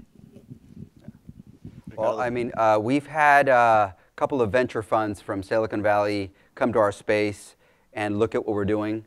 Uh, it's, it's, uh, there's a fund called Hackers and Founders. They've been there. They're doing business in Latin America, and the advantage they see. So these are the, you know, the, the early adopters, they see they can find companies for cents on the dollar, and you can build them, and then you can take them over to the, you know, to the global markets. So uh, we have seen that that started to happen in our space. I'll be brief. Uh, yeah, so even San Diego hasn't seen in seven years the influx of Silicon Valley capital, so it's not going to happen really in, in Mexico. What needs it's we need an angry bird. So that's a huge successful company that will build companies around that. That happened in Norway, and and, and that model should be replicated in, in, in some in some ways. And and finally. Um, within the space of, uh, of uh, investors and, and, and actually attracting uh, funds, we should really understand uh, what the, the value is. So let's say a million dollars for a US based startup. If you want to have like 10 times uh, the return, that's great. A million dollars in Mexico will actually offer you more time to actually create and spend that, but actually the return is the similar so maybe you don't invest a million dollars in Mexico. You maybe invest a third or a half to get the same time a return. So we need to understand that's that's uh, space. Anything to add? Uh, Guillermo and then Paul back there. I'm sorry, Gustavo. Gustavo. I was uh, I was looking at Guillermo and turned to Gustavo, Don't so worry. I got confused. I'm Gustavo with, with Smart Border Coalition. I'm going to issue a challenge for you. You talked about the entrepreneurial spirit that we have here on the border. You talk about the uniqueness of the border. Uh, that's all in good, but the challenge is this. We have a lot of issues that Carlos was talking about initially about the uh, optimization of flows. That, that's sort of the narrative, right? It, but it is an important part of that narrative, and it is something we have to work on. If we got together as entrepreneurs, if your organizations uh, of entrepreneurs got together and said, you know, let's, let's really do, create an imprint for what the border is going to look like from a Internet of Things, from a uh, intelligent, tra intelligent transportation systems point of view, from a wait time point of, point of view. Let's try to resolve the local binational problem that we have here because as you know, El Paso Juarez has the same issues. Laredo has the same issues. So why don't we create that uniqueness? We improve on that uniqueness by taking on our entrepreneurs and working on the problems and the challenges that we have from a border innovation perspective right on the border. Gustavo, is that an invitation? yes. for, a, for, a, for a competition. Is it an invitation? So I, the first thing that comes to mind as well is this whole village of support. So to land at the conversation you're speaking about, you're going to need to bring in a lot of different parts. So I think the universities will play a huge component of support, um, the startup ecosystem, and then I think uh, something that I would love to see more is businessmen that have paved the way. I think the Smart, Bo- Smart Border Coalition gave us an incredible infrastructure of support, but also bringing in new minds and new ideas and really seeing it like a design thinking problem of how do we creatively look at the border? What are it's changed a lot over the, and it will continue to change. So I think it's really mapping it out. I think San Diego has an incredible spirit of collaboration that we're very fortunate to see. So it's going to take a whole binational village of support, bringing universities, business, um, the, both cities together to have the conversations. I love the design thinking idea for this. I think I think the border. I think we should think look at the border as a as a design problem, mm-hmm. Mm-hmm. Uh, with a set of constraints, with a set of opportunities, with a you know, and just thinking about it in that way, it's a. Yeah. We it should, makes me we, curious. We, we, we, should all talk about this. Anyway, uh, uh, yeah, so I, I will focus more on, on immigration and, and, and the requirements of highly skilled workers for California and Silicon Valley. So, uh, so the business, you need like a million engineers in California to actually keep up with growth. Uh, and the visa is like going from, from 100,000 to 50,000 a year. So Tijuana offers a great opportunity. Uh, so for example, Amazon is looking for a second corporate headquarters in America. So why don't we pitch it San Diego, Tijuana uh, offices with an expansion to the Tijuana to actually uh, lower barrier for um, um, migrant workers in Tijuana with a H1 crossing to actually service and work with the US corporation.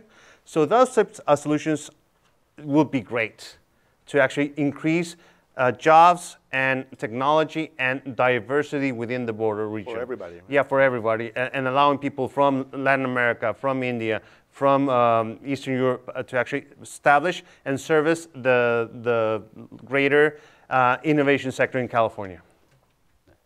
It's a great challenge, and uh, I think we all touch upon it a little bit as we go through our days uh, working with entrepreneurs. I, um, something that comes to mind is that what each one of us does, uh, and I would say it's, there's always uh, a budget factor on doing things and making things happen. So we always have just so much available to resources, whether they're monetary or they're time constraint or people that help us to make this happen. I mean, I, I, I take in the challenge and I'm going to be looking to do something on our border to be able to, to impact that. That's a great idea to be able to do something, as you mentioned, with Amazon. No, no, no. Amazon is for Tijuana, San Diego. no, no, no. but I, I, I, didn't tell you we've already, we're, we're in deep conversations. No, no, or, or, any, or any entities like that. I mean, it's a great challenge to take and we have to take it as a community. Mm -hmm. It takes many people coming together to make that happen. It's just not, you know, a small group. So I would end it getting a lot of people together to make that happen. The last question back there, uh, well, two questions. Uh, the, it's one back there, uh, Paul, and then here, well, three. Yeah. Hi, my name is Dante Alvarado Leon. I'm a software and platform senior research analyst at Accenture. Uh, I was born and raised in San Diego and Tijuana. I used to cross the border every morning, go to school. And my question to all of you is how can we get the youth involved in innovation entrepreneurship? I left San Diego to stay in Silicon Valley. Over there, when I was at Berkeley, launched two companies, um, and I just learned a lot. And now I come back and I see a lot of my friends working at Pizza Hut, or they decided to stay at a community college what can we do to make sure that talent comes back or that talent stays here or stays within borders, within the border and really spur the economy. I think we, there's a lot that can be done. And from a university standpoint, from having accelerators, what can we do here so that we want to come back and start our own companies and have the support? Because when I pitched to investors, this, the room did not look like this. It was a lot of people that looked very different from me. Yeah. So how, how can we teach and how can we do that? I will ask if you could be very brief so that we can get the last two questions yeah. because I know that we have. Uh, I will be brief. Dante, let's connect after. Uh, and there, there is a lot going on um, right now in San Diego, Tijuana. And I don't think th this conversation of keeping talent in San Diego, it's okay if you go and you go explore, if you bring your talent back with you at some point. So I would love to connect with you and see um, how we can get you more involved in what we're trying to do. So yeah, so the Latino, uh, not only Latin Americans underserved, but the Latinos in the U.S. are underserved. So that's a huge opportunity. That's a huge opportunity for businesses to focus on the, just the Latinos in, in, in, in, the United States. And within that space, education is one of the, the those uh, things we need to serve better Latino communities. I would say just reach out to your to, to local uh, coalitions that are making this happen and have this mindset. Uh, and I would say become one of those leaders that can come, you know, bring people together. Thank you. Thank you for the question. Hi, um, I'm Paul Robin. I'm with the university here. Hi, guys.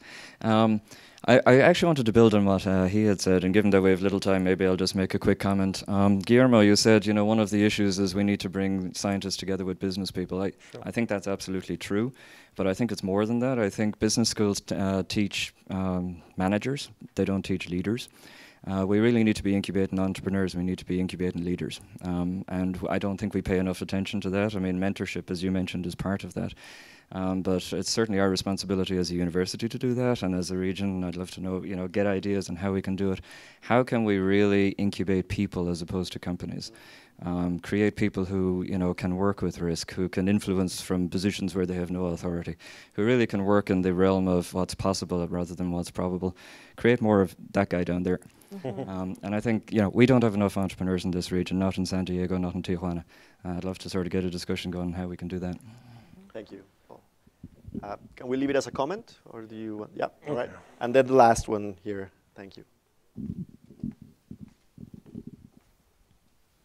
Good morning, and thank you for sharing with us. My name is Marisa. I work at the International Community Foundation, and my question is about philanthropy. Have you seen philanthropy at the table using tools like impact investing, social impact bonds? Do you think there's a better way to bring philanthropy at the table? What's happening there? Um, so at the University of San Diego, we're very we do a lot of work with social entrepreneurship. So we're very vigilant about what's going on with the social entrepreneurship impact investing. So I, I think it's very much at the table, but it ne- needs to continue to be the understanding of business is not just for business, but there's a lot of impact that can be made. So I think the reframing of what philanthropy looks like in this age of difference, I think, is a very interesting conversation that's ongoing. I agree with Regina. We, we're interested in social entrepreneurship, uh, but we need to move from the philanthropy model into a real social entrepreneurship model. Mm-hmm. In our case, we have seen uh, social innovation happening. We've seen entities as a Borderplex Alliance, uh, you know, nonprofit organizations stepping up and, uh, and uh, allowing us to, to give us a little bit of runway. We've seen uh, individuals come up and, and write checks. So, so our community is, is, uh, is building a new wave of, of uh, philanthropists, as I see it, coming from a grassroots movement. Give us one last thought that you want us to keep before we step uh, from the stage. So no pressure. One last parting one thought. thought final. one call to action, one um, inspiration, one thing to leave to leave us uh, food for thought. Food for thought. So at a country level, we're neighbors, but San Diego, Tijuana, we're roommates. So we're very influenced by each other. We even have some phrases that uniquely we share that if we went further into Mexico, they would not understand. And we have an opportunity to create our own story. We're, as you said, pioneers, and there, they will, it will take a lot of different groups coming together, but I'm excited what we can create at the city level, and there's a lot of openness and collaboration. Uh, I'll repeat the Frontera Founders slogan. So uh, we actually it, there's, we don't see a border. We actually believe that is a new frontier. There's great space to explore. So I invite you to explore that uh, new frontier, new opportunities for your businesses. I would say that innovation is on the driver's seat for the new 21st century economy. If you guys are going to invest your time, if you're going to invest your money, invest it in innovation, uh, in anything that's happening in innovation for, for this new economy. Thank you very much for a great conversation. Uh, thank you, Regina, thank you. Guillermo, Ricardo. Thank you, everybody, for the questions. We have a 20-minute break. We will be. We ask you that to be back here in the room uh, right at 11 uh, a.m. for the next panel on the creative economy, on how embracing culture and community also creates these wonderful opportunities here at the border. Thank you.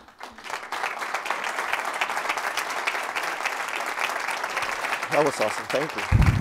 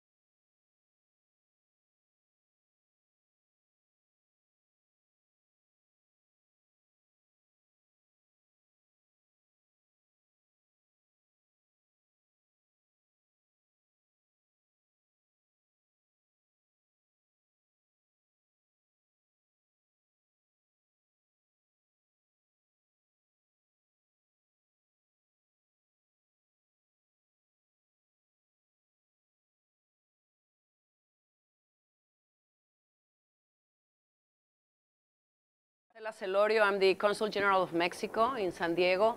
And uh, I was asked uh, to, participate here today uh, to have a, a, good conversation with these uh, three main actors in the uh, issue of culture and uh, how to build community and awareness and, and how to help our youngers.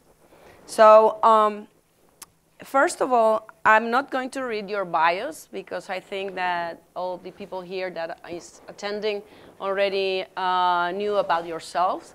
But maybe there are, uh, you know, parts or details that are not included in your bios, that are not officially uh, there. So maybe, uh, James, uh, we can start with you. If you can uh, tell us, um, you know, you're an architect, right? Yes and uh, maybe you can tell us uh, how come you became an architect and uh, if that decision now with all the, the, these things you're, you're doing in uh, Logan Heights um, is helping this, um, you know, this background. Yeah, thank you. And thanks to everyone for attending. Um, I'm, uh, I'm a, actually a failed furniture maker. I, I, went to architecture school, but when I got out, the economy wasn't so good. So I tried to make a living doing art and furniture for several, several years. And um, currently, I, I, I kind of work in a, a, a loose triangle of, of, occupations in a way. One is um, my, I'm an architect with my firm called Public Architecture in Logan Heights. In a, another corner of the triangle, I operate uh, with several other people, Bread and Salt, a community art center in Logan Heights also, in the same building makes it convenient that way. And we're, we're new. we we've been around for five and a half years now. Okay. It was an old Weber bakery. In, at the other corner of the triangle, and I think I'm floating in, in around, I'm kind of like a fly hitting the walls of the triangle. at the other, the third corner, um, it started out as a, a, I think a small study that I did. I was a, I spent a year in 2008, 2009 at Harvard on a Loeb Fellowship, and I, okay. I went there with the intention to uh, study the idea of making a border city, a city on the border between San Diego and Tijuana. And, but the, at the end of the year, I ended up uh, studying the possibility of a true binational park on that site at the site of Friendship Park. Okay. And uh, when I got back from the one year fellowship, I, I, had found that the Border Patrol had built the second fence, mm which had cut off access to the inner fence, a very, very important meeting space. So I spend my time these days kind of cycling back through somewhere in between all of those important elements. And let me ask you something. Wh where are you originally from? I'm from, I was born in Newfoundland, Canada.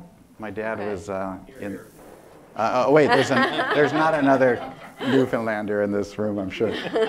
but my dad was in the U.S. Navy.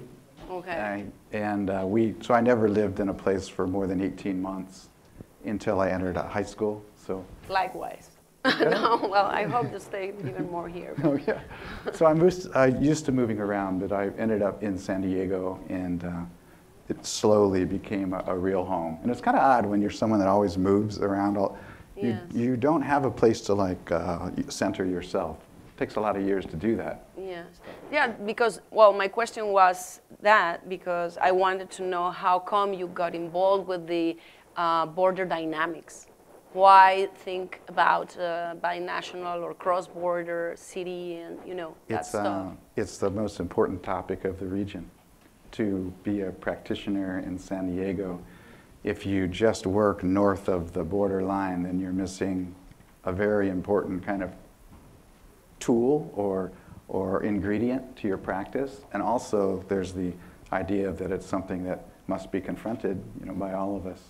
Our best, they talk about it seems like to be a narrative uh, in the United States that security, security is very important, so perhaps we need this wall. But our most important security, in fact, is our friendship uh, with the common, uh, the, with the citizens of Mexico uh, alongside the citizens of the United States. That's true security.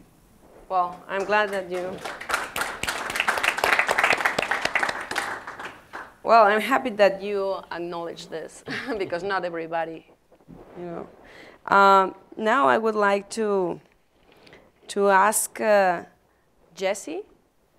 Um, I read your, your bio, but I think that there are uh, something that is missing, like uh, all the hazards that you have been facing, like being homeless. How come? If you can tell us about um, it. Well, okay. um, one of the one of the issues that that I grew up with is actually um, we were very unstable. My family. Um, I grew up in a in a very chaotic home. Um, it was a a lot of abuse in, in, in, my in my family, and we we were where I'm actually from Los Angeles, California. Um, my my mom's from Guadalajara, and my dad's from El Salvador. Um, you know, it, it's it was it was pretty hard. It was pretty hard growing up with with uh, with a family that's just kind of broken down. You know and um, the fear of, of having that abuse in the house is is very it was very tough so um, it was a point where we we couldn't really function together so we had to break apart and everybody went their own way i have um, brothers like down in los angeles that um, you know had to just kind of detach from our family and um, me and my mom we actually ended up coming to san diego you know my mom had to get away from from everything that was going on with, with my dad. And um, uh, we, she, she, we came over here. She, she believed that there was something else, you know, something different. She's just kind of trying to figure out how to get us away from all of that, you know, and um, knowing that, that, well, not knowing, you know, that there wasn't really too much of, of a opportunity, I guess, you know, when we came here, we saw that the rent was so much higher, and you know, we, we figured, oh my gosh, like you know, what are we doing here? But we didn't have any money. You know, spending spending our cash is pretty much like trying to find a little place, a little room, somewhere to go to, like just trying to to have some kind of roof over our heads, you know. And um, we ended up figuring out, hey, you know, let's go to Mexico. Like let's let's try to figure out how to how to live a, a life that's that's going to be a little cheaper. You know, we figured that a lot of the people that we knew were like down over there saying, hey, the rent is like $200 for like this, you know? And we said, okay, you know, let's go down there. And um, we ended up staying over there. And actually, for a while, we ended up just staying with our family, you know, just, um, just trying to figure out how to not struggle so much, you know? And one of the main struggles is actually crossing the border. And I can really relate to one of the students here, you know, saying that uh, crossing the border every day, we, it's, it's, we have to wait about maybe three to four hours in line. And me coming from Rosarito, which was a little further than, than Tijuana, I would have to wake up early. We didn't have a car. You know, we didn't have anything. We had to go on foot. So um, we would have to wait for the taxi in the morning and like, cause um, there's certain like I guess, uh, neighborhoods. You have mm -hmm. to mm-hmm. get out and then go to the main roads. Um, and it, it, was a, it was a struggle, 347 in the morning every day, you wow. know. And um, having to go from there to downtown Little, Little Italy to go to school and uh, having the front desk go and tell you, Jesse, you need to wake up a little earlier, you know? and me standing in line like four hours and just like falling asleep practically standing. You know, it was it was really hard, and um, but like knowing that it was worth fighting for that education. You know, that um, that the opportunities are, are are extremely different, and we have to realize that. You know, and but was there like a breaking point? How old were you when you were in Rosarito? When I was in Rosarito, uh, well, it was back and forth. So okay. if we couldn't find a place here, we had to go back. Wow. You know, because um, other than that, we were in shelters, so we were in like rescue missions, St. Vincent's. Like, um, it was just so many, so many different situations. We were just never in one place, you know, and yeah. and it's really, it was really unstable. Um, when when it was my my own breaking breaking point, um, so my my mother had this relationship with um, uh, my stepdad, and it was very hard to deal with that. He was an alcoholic. And um, there was also abuse there. You know, it was more of a verbal and like he would uh, he would leave, and after he would leave, um, I was the only one there with her. So everything would kind of fall on me. So it would be more of like a blame game, you know, like it would be my fault. And her own her own um, issues started coming onto me, you know. So after a little bit of of that, like it was just my breaking point in saying, you know what, like I can't I can't take the abuse, you know, I can't take it anymore. And and I ended up being a runaway a runaway teen at 16. Um, I ended up going to a shelter called Storefront, and from there, you know, I said, like, I'm just gonna, I'm gonna make it. You know, I'm gonna try to make it out of here. You know, I'm gonna try to make that change. And not only for me, like there are so many youth out there that are going through the same thing that I currently know.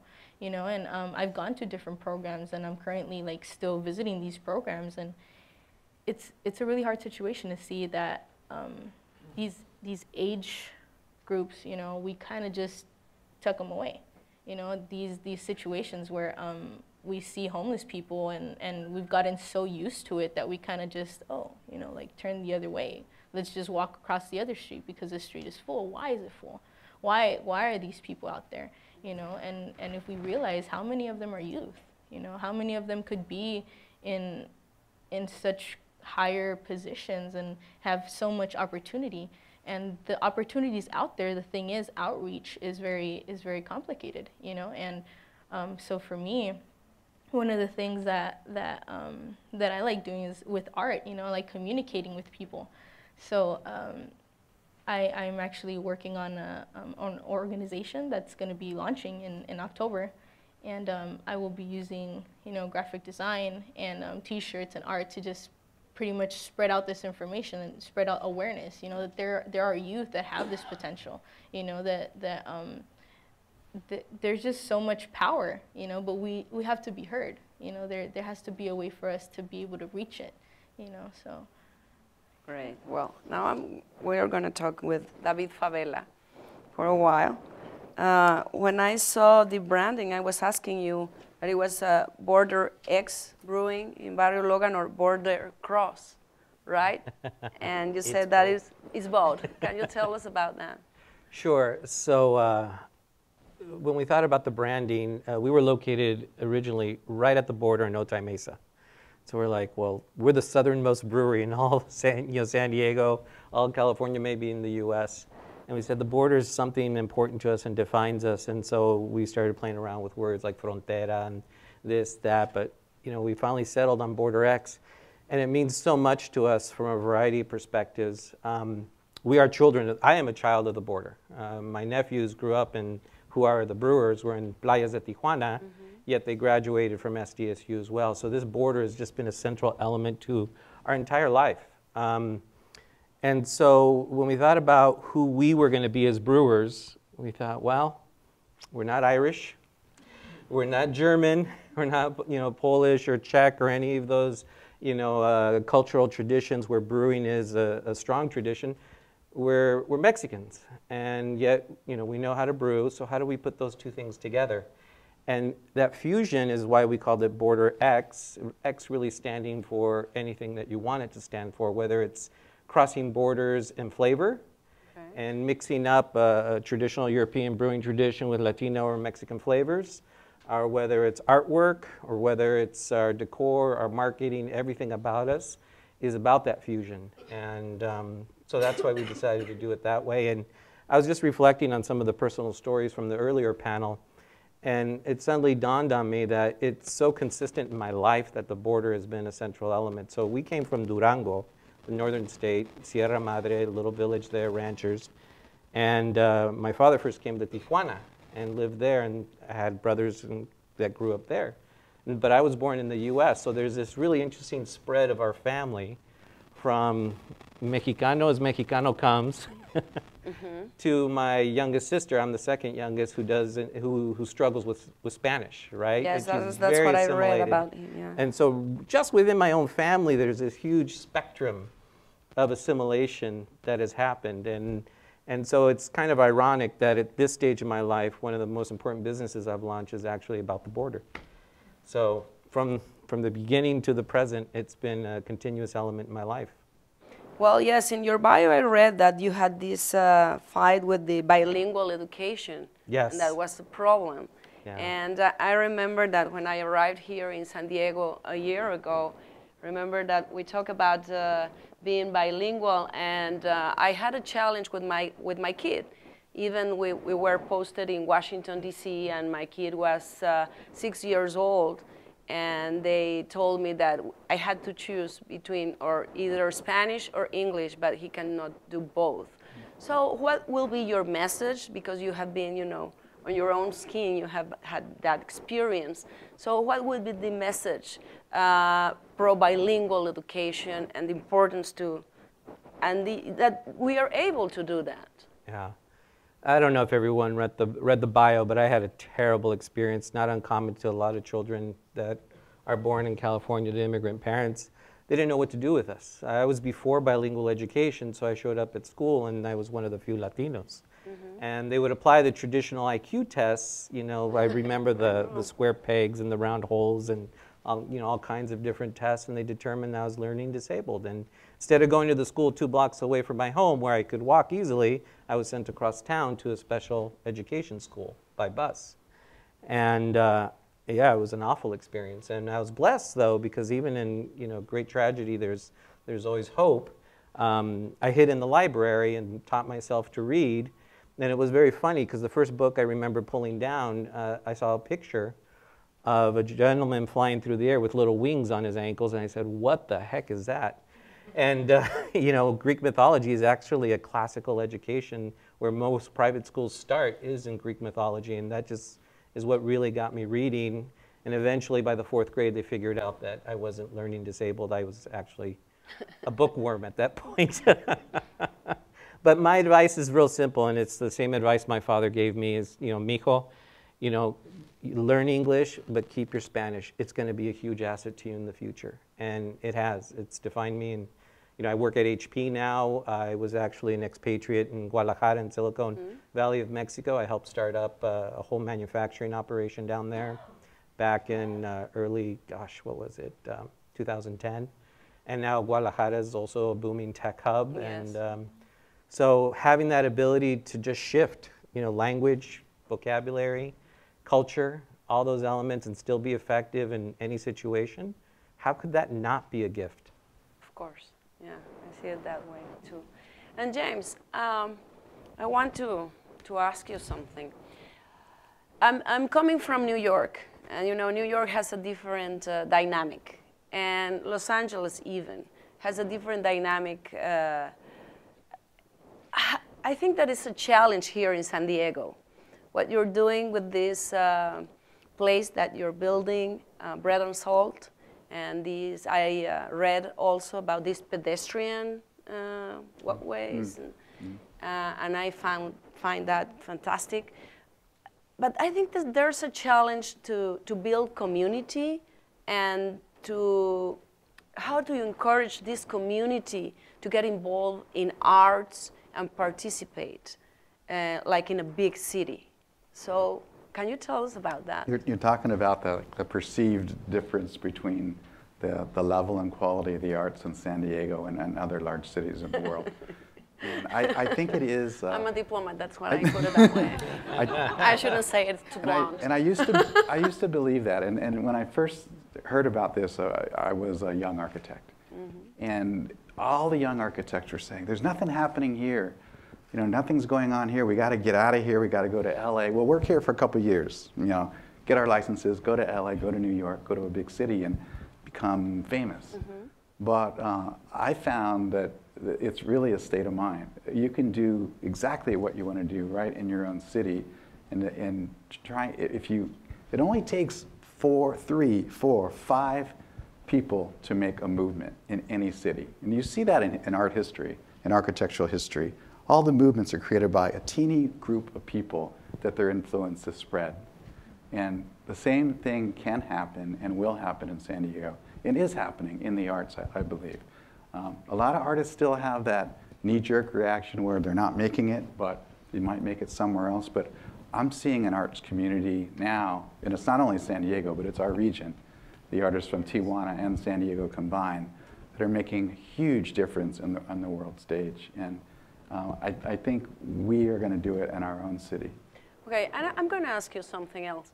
Um, if San Diego uh, wasn't here along the border, close to the border, and was, you know, in the Midwest, somewhere else, do you think it will be the same?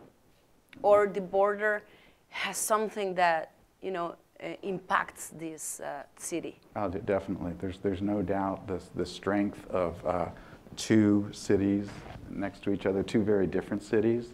I think one can potentially strength, strengthen the other to a great degree. And it was interesting in the panel before us, it, was, it seemed like it was difficult for the entrepreneurs, at least in Tijuana uh, or in Mexico, to break through uh, a certain wall, a barrier. I think in art and architecture, it's different. I think the power of the arts kind of re reverberates back and forth between the cities and is making a stronger impact. And you're seeing, you're, we are seeing that uh, in, in other writings, like the New York Times was writing about architecture and art in, in, in the Tijuana area yes. all the time, and food. Food, be, food being one of the arts, and the LA Times, the same thing. It's, uh, it's, it is explode, it's absolutely exploding the influence of Tijuana on San Diego and the whole world. Uh, and at, you know, at Bread and Salt, uh, it's a, I operate, a, it used to be a Weber bakery, a 45,000 square foot building, quite a large building. And um, we bought it six years ago. We, the, the corporation, Weber, sold it, and we were actually not the highest bidder. We were the lowest bidder. But the other entries into the project, they said they, they wanted to, because we were asked to write a narrative, what we were going to do. They were typical developers. They wanted to tear down the building and do housing projects. And I said, I, I want to use every aspect of the existing building, uh, build additional square footage, uh, but turn it into a uh, community arts building. And, they, and it's interesting that Weber had already a history of, of community outreach. They were there since the first corner of Weber's was built in 1896. Um, on, and that, that corner is still there at Bread and Salt. And so for many decades, they've had a community room on the second floor that they've allowed uh, people in the community to have birthday parties, weddings, dances. And so we get, we get people in their 80s and 90s like come up the stair and they say, you know, there used to be a place that I went to a high school, high school dance. I said, I know what you're talking about. It's right there. And I take them in there and they kind of like look around, like sort of stunned. And you can see they're sort of remembering. Wow. So there's this really long history at uh, Bread and Salt of community outreach. And so we're, we're, we're continuing that legacy. Great. And uh, some of the things we, we sort of have a, a rule of thumb that uh, any of any uh, anyone in our neighborhood within a couple few blocks radius, they could have any event, any event they want for any, no matter how small the group, whether it's a meeting or a family birthday party or something, and they can we just allow it to happen. So this is this is was this has been our introduction into the community and for the six years, and it it's it's helped, you know, because we are outsiders. There's no doubt about it, yes.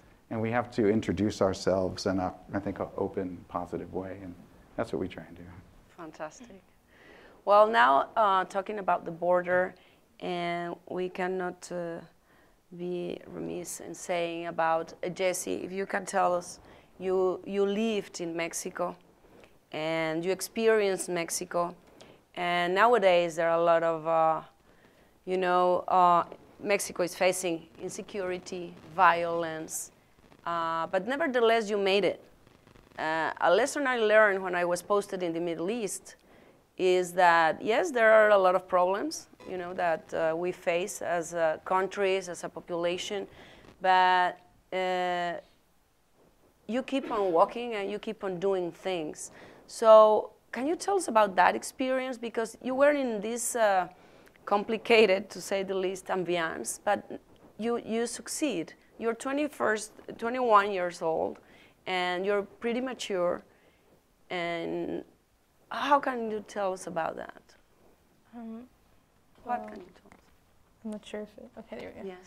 Um, well, one of the things is um, there there was uh, a lot of violence, and I had actually a lot of the students from my school tell me, you know, how do you how do you cross the border every day? Like, don't you see these things going on? Aren't you afraid? And um, I mean, no, you know, um, I I did see a lot of things, and and there was a lot of things happening, but one of the things that that I would say, you know, like I, I love I feel like my heart comes from Mexico. You know, like everything that I've been through over there, everything that all of the people that I knew, all the youth that I that I that I come to to just grow so closely to, um, it made it worth it. You know, and uh, one of my goals was to actually create a program in Mexico for that for the youth. You know, uh, I love art, and I feel like that was my my escape. You know, my my way of actually rising up to the top. You know, for for for me that that was my my staircase up. You know, and uh, I I noticed that there was no after school programs. There was no, you know, there was nothing that that got students to focus on anything else but to be in the streets. You know, but to be um, in gangs, but to be in, in trafficking, you know, narcotraficantes, and and uh, it, there was a lot of that activity in, in that neighborhood, you know. So um, I decided, wow, like there's so many things that that there's so many opportunities here, like why not share that, you know? So um, anytime I was able to, to get a canvas, anytime I was able to get paint, anytime I was able to do anything like that, I would actually um, make presentations, you know, in high school, and I still have the files of the presentations and um, collect these things and take it to, to, to the youth over there, you know, so um, just being able to, to have that, that just picture of seeing like the youth touch a canvas for the first time and say, "Oh my gosh," you know, like, like, "Oh, qué bonito!" Like, it's just something that that I felt was worth it, you know, and and it made me not not have that fear, you know, because me coming from that background of, of poverty, you know, like there was moments where we didn't have food here or over there, you know, so um, being able to to see that I'm making a difference in somebody else's life, that makes a difference in mine. So um, just, you know, I, I, I didn't fear it at all. But what would you say now? Nowadays, we're facing this uh, new, uh, well, the end of uh, DACA, the Mhm. executive order, and uh, now Congress have six months to to legislate about it. And there are a lot of uh, dreamers Mhm. Uh, that are identifying more being Americans than Mexicans, Mhm. and there's a lot of fear among the community. Uh, How come I'm going to go back to Mexico? And you were lucky because you had the experience to live there, but some of them haven't. Uh, they were very little, small when they came here. So, um, what would you say? How would we address that fear? And uh, how can we help to integrate, maybe through culture, uh, arts, uh, these uh, young people that identify as Americans and maybe they're going to face this uh, decision to go back to Mexico? Mhm. Well, that's actually one thing. Um, wow, it, it it breaks my heart really because I have a lot of friends that that that have been crossing the border also because of DACA, you know, and and that have been getting that opportunity. Um, they have visas, entonces eh, they, Mhm. they, they were able to, to, to come, and um, they have permits to be able to work, you know, like so, being able to to have that opportunity taken away from you. And then having the students here that were actually from here, a lot of the friends that I have in Los Angeles too, you know, they were brought here when they were six, five, you know, some of them not knowing anything else. They don't remember anything from Mexico. So it is something that's, that's, that's really hard.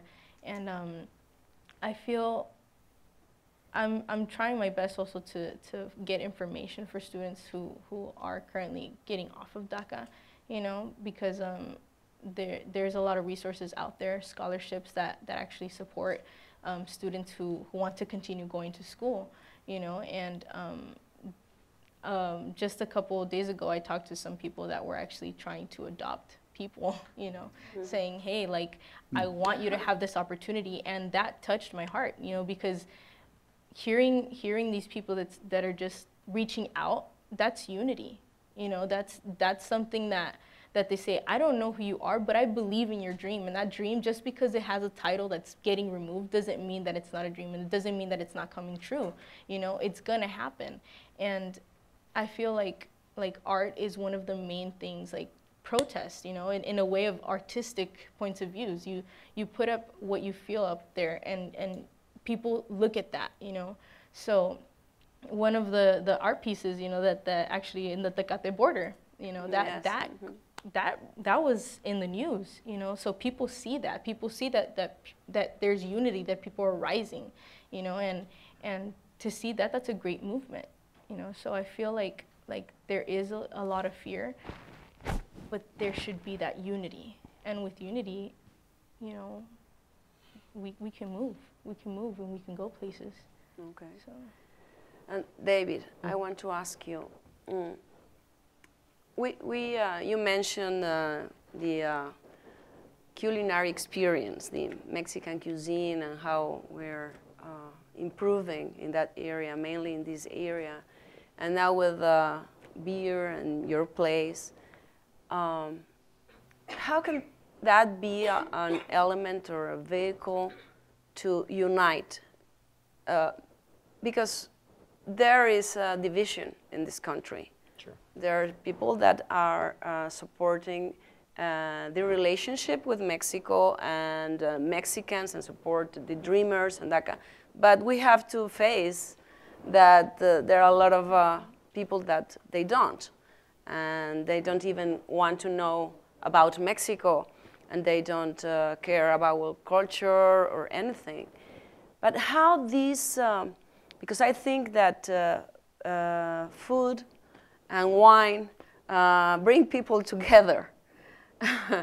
you know, it's very important when you try to build community, how you have uh, this um, una mesa, you know, this table with friends and everything, and you can see people there from different backgrounds and talk, and then this unite us.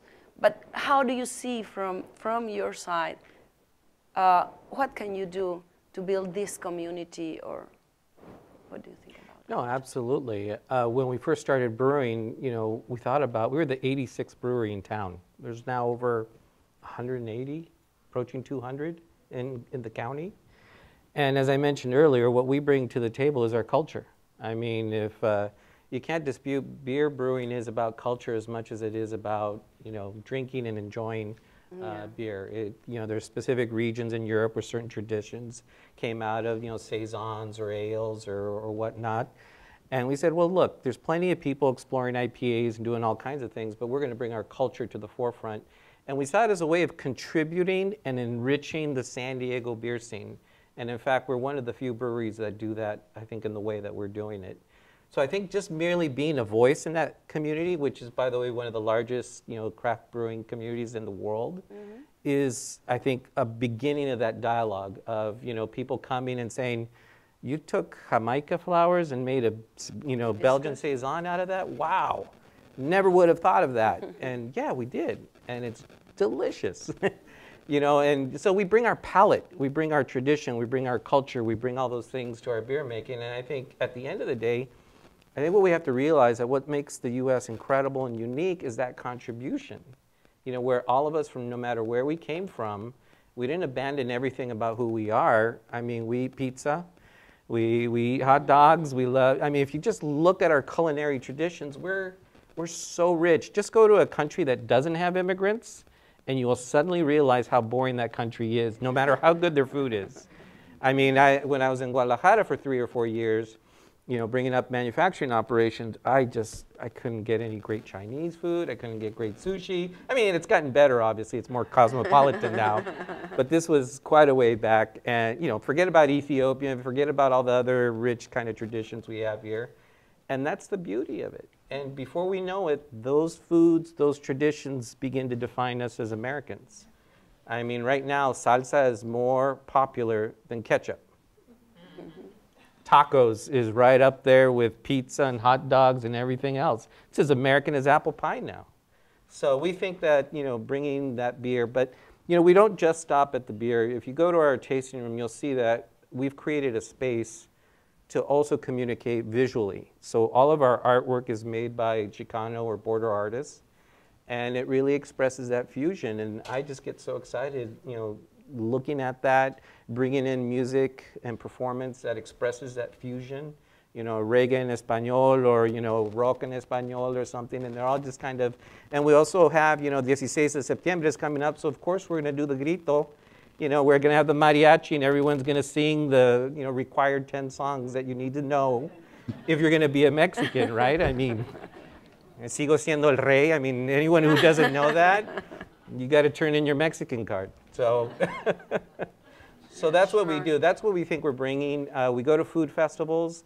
Um, we just, you know, that's our voice. That's what we express. And I think people react to it. And let me leave with this last comment. Um, it's a really interesting thing that we've discovered. We said to ourselves, we want to interpret the contemporary uh, Mexican experience.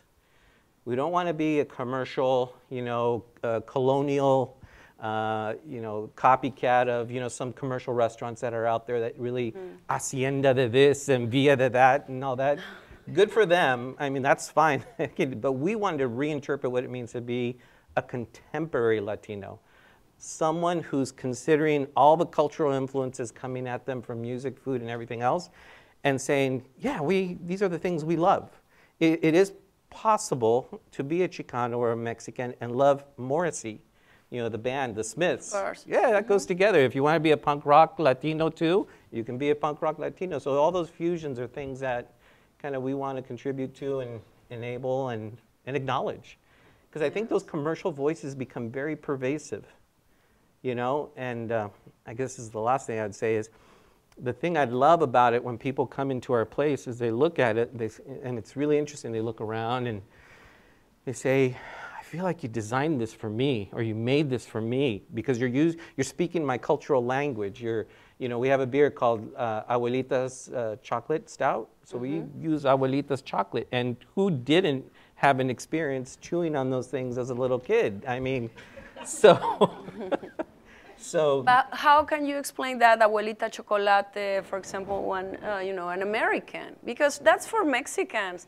But what yeah. we want is Americans to understand us. So uh, if I put abuelita chocolate, it's like, okay, Marcela, that's fantastic, but it's for you.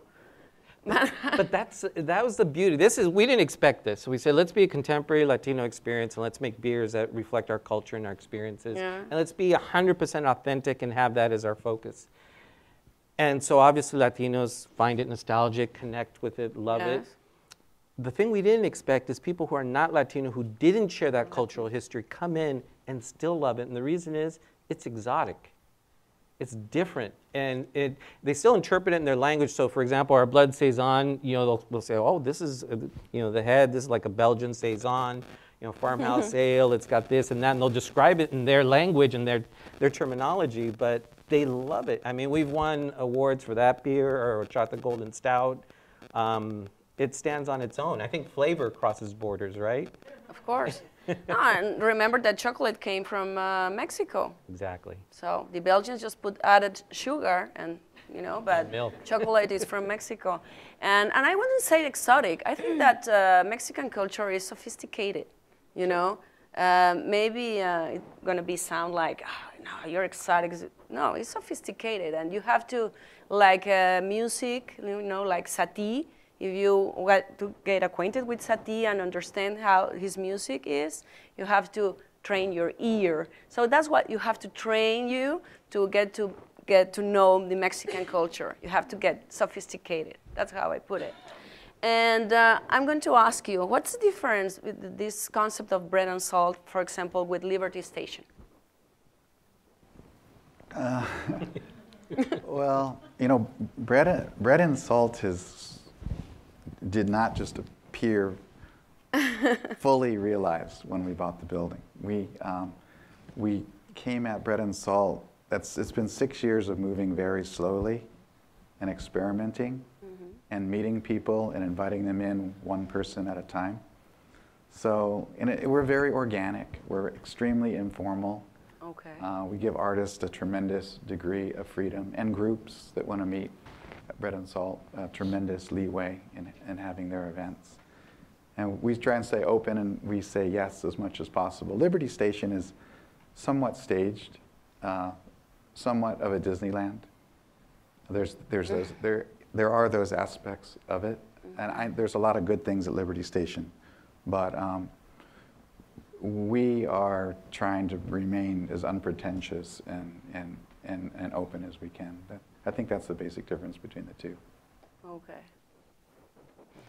And Jesse, I want to ask you, who, who's helping you with all this? Because you seem like you're a fighter and you're like a Lone Ranger, but who's helping you? Who, who, who's Um, supporting you to do all this work that you're doing? Yeah, so actually, um, one of the people that came with me today is uh, Laura. She's from the Jacob Center of Neighborhood Innovation, and um, they're great supporters. Actually, they're um, they've helped me learn from their classes, their courses, graphic design, which is one of the things I'm going to step into with the organization.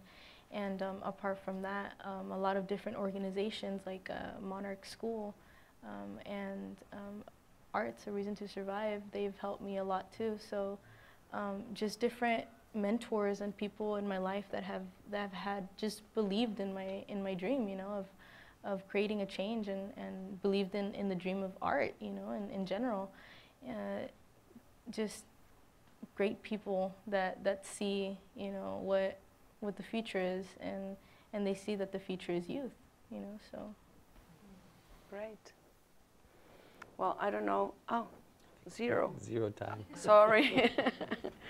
I wasn't aware. So, oh yes, we're gonna, and I have some instructions to follow, right? that that Paula wrote to me here. Sorry. I- Oh yes, it's a reminder that we are on live stream, so please wait until you receive a microphone to ask your questions. Second, and for our for our live stream audience, if you would like to participate in the Q&A session, you can tweet your question to at Aspen Latinos. Okay? Okay, perfecto. Dr. Rafael, ah, yeah, we have to wait for the mic. Yeah, sorry.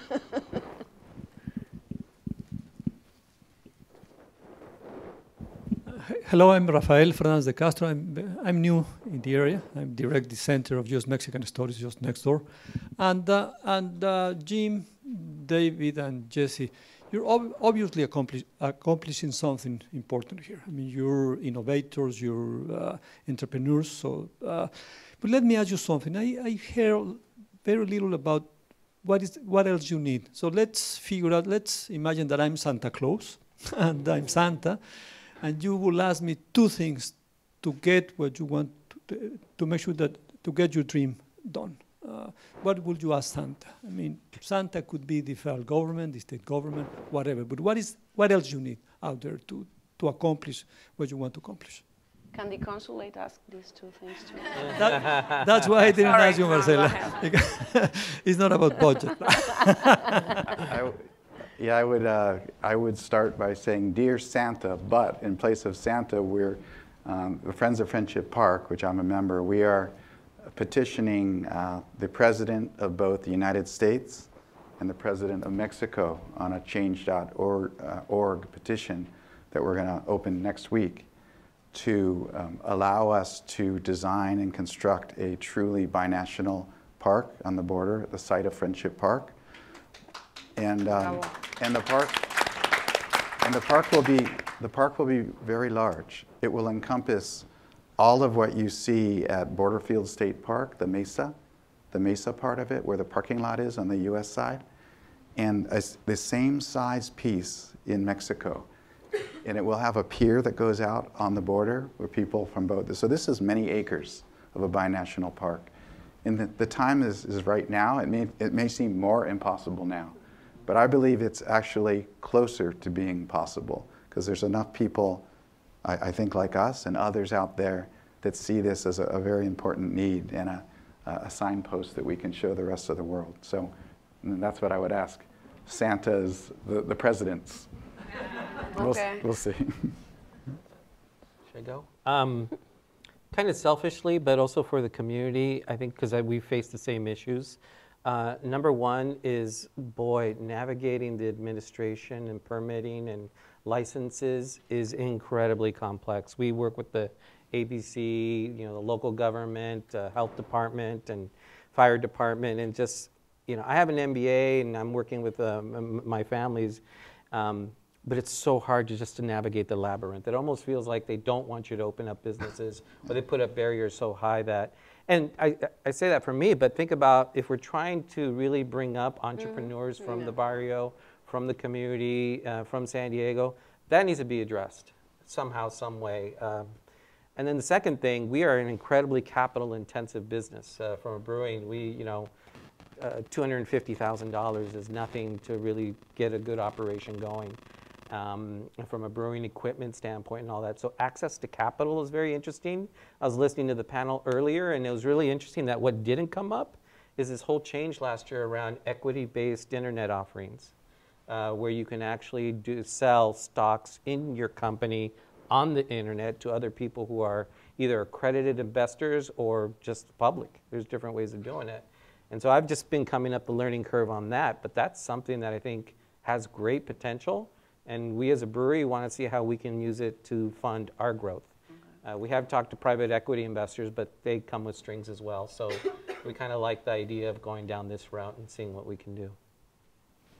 Okay, well, um, one of the things I really agree on licensing. That's that's very true. It does seem like like it's kind of like a little border, you know, saying you really want to try to make this change, but it feels like there's just so many things that are against it, you know.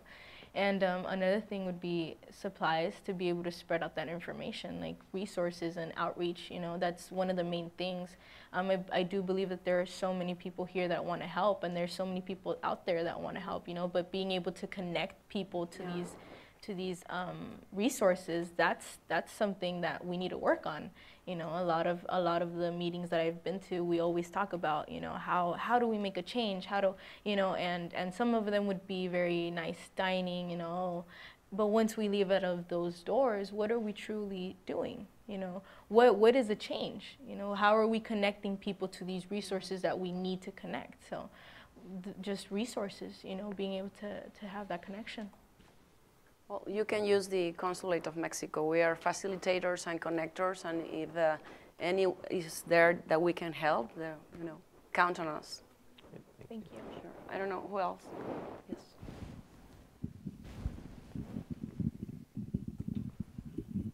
Hi, I'm uh, Trisha Richter with KPBS.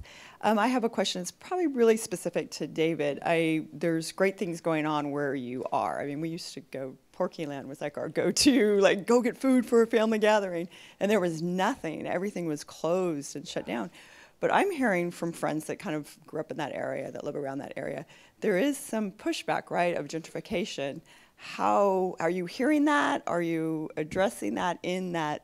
And Jim, I don't know if you really get this much. You're a little bit in a different area, but what do you think the answer is to that? Because I, for me, from an outsider, it's like, this is great. It's bringing people to the community. They're seeing what a great community this is. Maybe they'll even go down to Chicano Park. Yeah. But I'm hearing people that live in the community that maybe think it's not being handled so great. So I'm curious what's really happening on the ground. Well, I'll tell you what we're trying to do. So we've, co- not we've coined, but there's a term called gentefication, mm. not gentrification. Mm. And so we, we subscribe to that philosophy. How do we improve the neighborhood while balancing the needs and most importantly, keeping the identity, which is not just the buildings and the businesses, but it's also the people that make that community so special. So Barrio Logan, many may not know, is incredibly prolific in the art scene. I mean, James, you've probably seen that as well. There are tons of galleries when I first came there, and that's what really brought me there is that there's a whole culture and community. And so I think that's where we're trying to go. But the real rub with anything really is any improvements to that barrio will have impacts on the rents. And you know, I don't know what the solution is. I mean, uh, if I was a property owner, I wouldn't be very excited about rent control, but that's one solution. Um, there has to be some kind of joint private sector, public sector, community involvement to try to really make an effort to keep the spirit and the soul of the community, even as it improves. And, uh, and so we've been trying to walk that balance. And I'll tell you, we're not the only one. Boyle Heights is really a hot spot right now. Um, you know, up in San Francisco, it's really a phenomenon that's going on across the U.S. and a lot of communities. Um, as a business, we do the best we can. One of the things that we've really tried to focus on is really trying to make community entrepreneurs. I'm very passionate about the entrepreneurial community and using whatever resources and knowledge we have to help those around us. And if you go down Logan, what I'm really proud of is Logan is actually, there's a lot of community entrepreneurs. Um, you know, there's a, by the way, I'm going to put in a pitch for La Bodega, selected one of the best gallery experiences in San Diego, right there. Best taco shop, Salud, right there on the corner. Uh, Por Vida, hopefully will get voted one of the best coffee shops in San Diego. So it's, and they're all people from the community. And that's what I think really gives it soul. Uh, is, and that's something that's been there from the beginning, and it needs to be something that continues on as the neighborhood evolves. I'd, I'd like to add to that. And uh, as, as, David was mentioning, that gentrification or even gentefication, the, the main problem, everyone wants improvements in their communities. You know, you want, a shop, you want a store where you can buy food. You want convenience shopping. You want lights on at night, safe place to walk. But the, there are, there's, and, and I as an architect, I'm interested in strategies to keep housing costs down. And there are strategies. Hopefully it won't come to rent control, but that's, that's like the atomic bomb of strategies that we still might need, but there's a couple others that we can utilize. There's a small lot uh, incentive or a small lot uh, housing program that's already been accepted in the city of San Diego, where on a single family lot, you can divide it into up to five actual fee simple single family homes. So in effect, you're creating properties with less value, smaller properties, and the rents will never get too high. They can't by virtue of their size. Another important tool that the city is debating right now is the Granny Flat initiative that gives all uh, single family owners the right to add a rental unit on their property and if the legislation is handled properly, they'll get rid of the parking requirement for that, which is what makes it impossible to achieve now. That will flood the market with affordable apartments. And it will happen in all, uh, the whole area of San Diego. That's a really, really important legislation that will also have the long-term effect of cutting down on, on homelessness. So these are two ways to fight the rising cost of housing that we really, we really must focus on. Yes.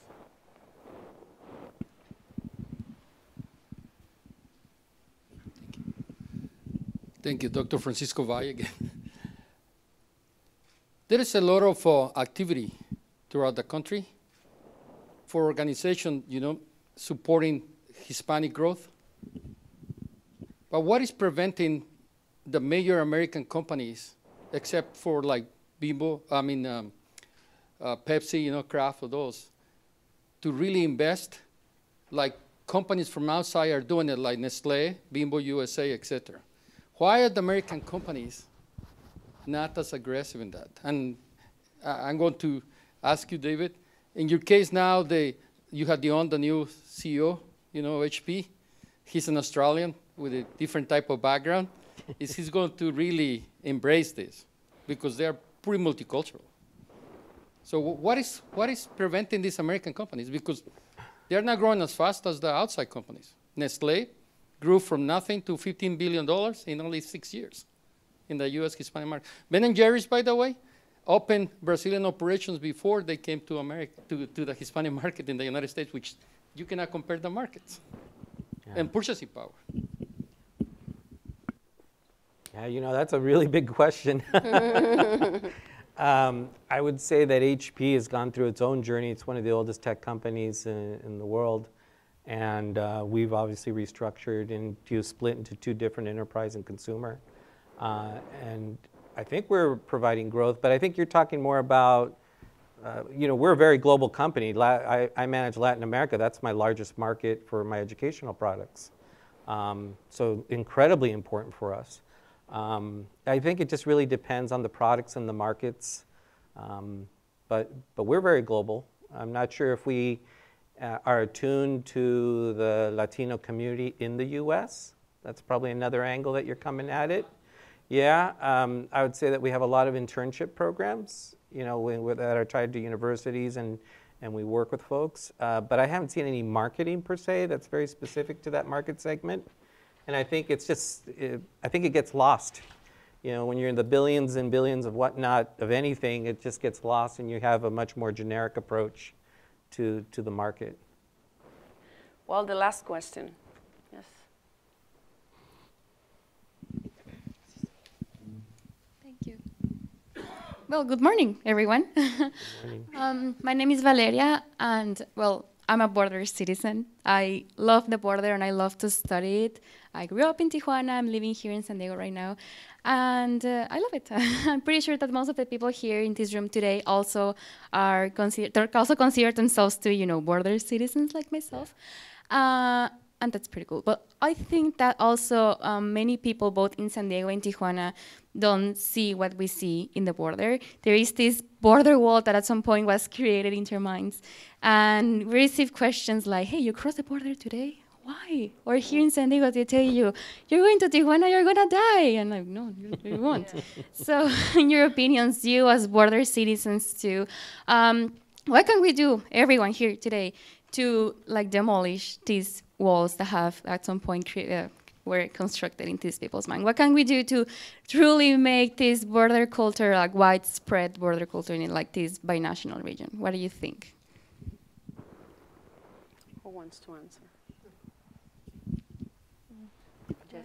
Well, um, I think being able to um, share the culture, you know, spread spread the spread the culture a little more, you know, let, let people know what, what we really are about, you know, let, let them know that it's not just about, oh, you go across the border, you're gonna die. You know, it's not like that. Like, we're so much more than just that fear. You know, we're so much more. We, we have, like I said, like, well, like every, everybody here, like, you know, we're spreading out. The border is just something that, that's physically there, but everything else, how, how did it cross? How did our culture cross? How did all that, you know, the food, the art, the music, everything, you know, you hear Despacito on the radio how many times, you know, mm. so it's being, it's being able, and it's not only like, like from, it's just different types of, of, of people, you know, coming together and sharing that culture, not necessarily only having to be Mexican, but everywhere else, you know, spreading that, that love, you know, spreading, instead of just saying it's violence and fight, what are we really about? You know, let, let's spread that, that truth, you know, so I think that's the main thing that we have to focus on. If I could just add, I like how you put it, it is a third identity, right? I, I kind of, I realized very early on que ni, no soy de ni de aquí ni de allá. Yeah. Uh, when I went to Guadalajara, they made it very clear to me that I wasn't Mexican. and I've grown up in the U.S. and I've always known I wasn't quite 100% um, from a cultural perspective. But I think that's, so to me, the border citizenship or border identity is a state of mind. And I think the artwork, I think the food, and honestly, I think it's happening already. I think it, it's not at ground zero. I mean, if you look at uh, Tijuana, it's one, it's one of the largest hotspots now for craft brewing Mexico. Or they're racking up awards, they're doing all kinds of stuff, and where did they get that? What a coincidence. We're a hotspot for beer, they're a hotspot for beer. Well, guess what? It's this. This is going on. Every weekend they're coming over here, we're going over there, and now there's this uh, interesting, it's really a level of conversations, I think. You can have conversations about business, and I think that you know after NAFTA that began to get more formalized. It's always been there, but it started to grow. Maquiladoras, these are all different. So if you had like a conversation meter, like what are people from both sides of the border talking about? I would say that conversation's gotten more and more intense, more diverse, more interesting, and over a more a larger variety of topics. Now we talk craft beer across the border. Now we talk about food, Valle de Guadalupe, wines, uh, all kinds of things. So I think I think it's happening we can encourage it more, and I think we all do, mm-hmm. uh, but it's happening. Bigger.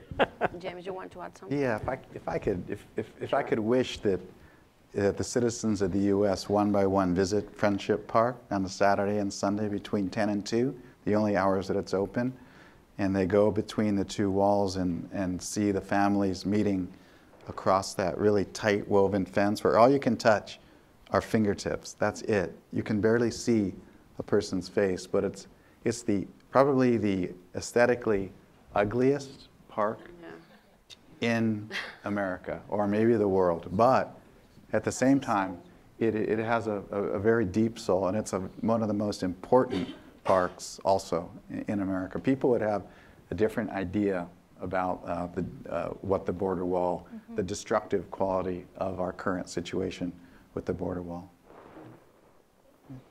Well, thank you so much. Thank you, Jesse, David, James, and to everybody here. And if you want to ask me what we should do, I think that we have to lead by example. And if we are going to say, I'm going to work on this, let's work on that. If I say I'm going to be honest, let's be honest. If I'm going to be direct, let's be direct. I think that we have to have this commitment. Thank you. Thank you all. Thank you.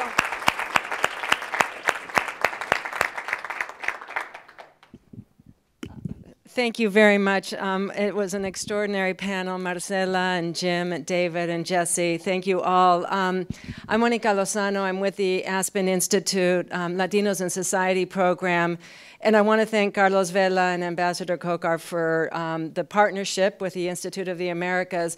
Our goal today was really to um, have this kind of a conversation, an open, honest, frank conversation, and to take beyond the Tijuana, Tijuana San Diego area exactly um, a reframing of what it is that's going on on this border region. And as, as we heard, um, we actually, you know, we heard at the very beginning, borders are universal, but we can choose to harness the energy, the creativity, and the economic potential of regions like this. And we wanted to surface this morning a conversation about innovation, about entrepreneurship, and about creativity, and how those come together in places like this to really reshape the narrative.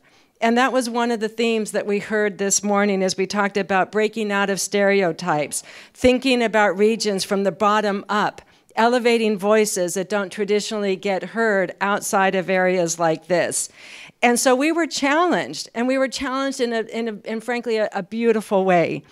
Um, we thought about US Mexico as a place of imagination and possibility, a land of pioneers in the 21st century that this is the new frontier. It's not a border, it's a place where minds are connected, where talent is unleashed, and we're able to unharness um, the power of what happens in places like, like this. We also talked about very practical issues. You know, what are the challenges that you have to overcome, whether in business or in the arts? And some of those have to do with um, mentorship, um, bringing a spotlight to expertise, you can't hear me? You couldn't. Hear, should I start over? I'm only joke. I'm joking. I am absolutely joking. I am absolutely joking. I'm not going to start over. Um, we talked about mentorship and expertise, about social networks, about um, cultural identity and life experiences, about the importance of physical spaces, capital access, building ecosystems that include government, industry, and local leadership. We talked about building and creating binational villages of support. And so this was the conversation that we hope to have today. And we started with business and we ended very deliberately talking about art and culture because what we just heard here is that this is where culture can actually move faster than some of these other areas. Um, the potential of art to both um, protest and to elevate the realities that, that, um, in, that describe who we are as binational communities. It's redefining what it means to be Latino and to live on the border. It's the fusion that is expressed in music, art, and architecture. So the, the issues that we raised today with you, from the very practical to navigating these spaces to identifying, you know, very um, specific things like access to capital, et cetera, all of that was important. But within the Aspen Institute Latinos in Society sort of program area, it really is about changing the narrative. And so we did want to begin to redescribe for not just people in this room, but for people that are outside of this room that are better trying to understand that it isn't about violence and, and the deficits. In fact, it's the very opposite of that. So approaching this with sophistication, recognizing that we're not just neighbors, we're roommates, that it's not what's probable, but what's possible that it only takes a small group of people to make a movement, that we can reshape the narrative from the bottom up, and that we are creating here a new identity. So it was precisely that conversation that we want to had, that we wanted to have. We thank you for being a part of it. This concept of Friendship Park, which is just so dramatic when you think about a space that is a physical space where we touch each other by fingertips and yet we touch each other in rooms like this with the creativity of ideas, with the willingness to move forward, to understand that it takes honesty and hard work, and that we must live by example. And that example is happening right here in this region every single day. So we thank you very much for being a part of it, for sharing this morning with us, to the Institute of the Americas, to the Aspen Institute Latinos in Society program, and we very much appreciate your participation today. Thank you very much.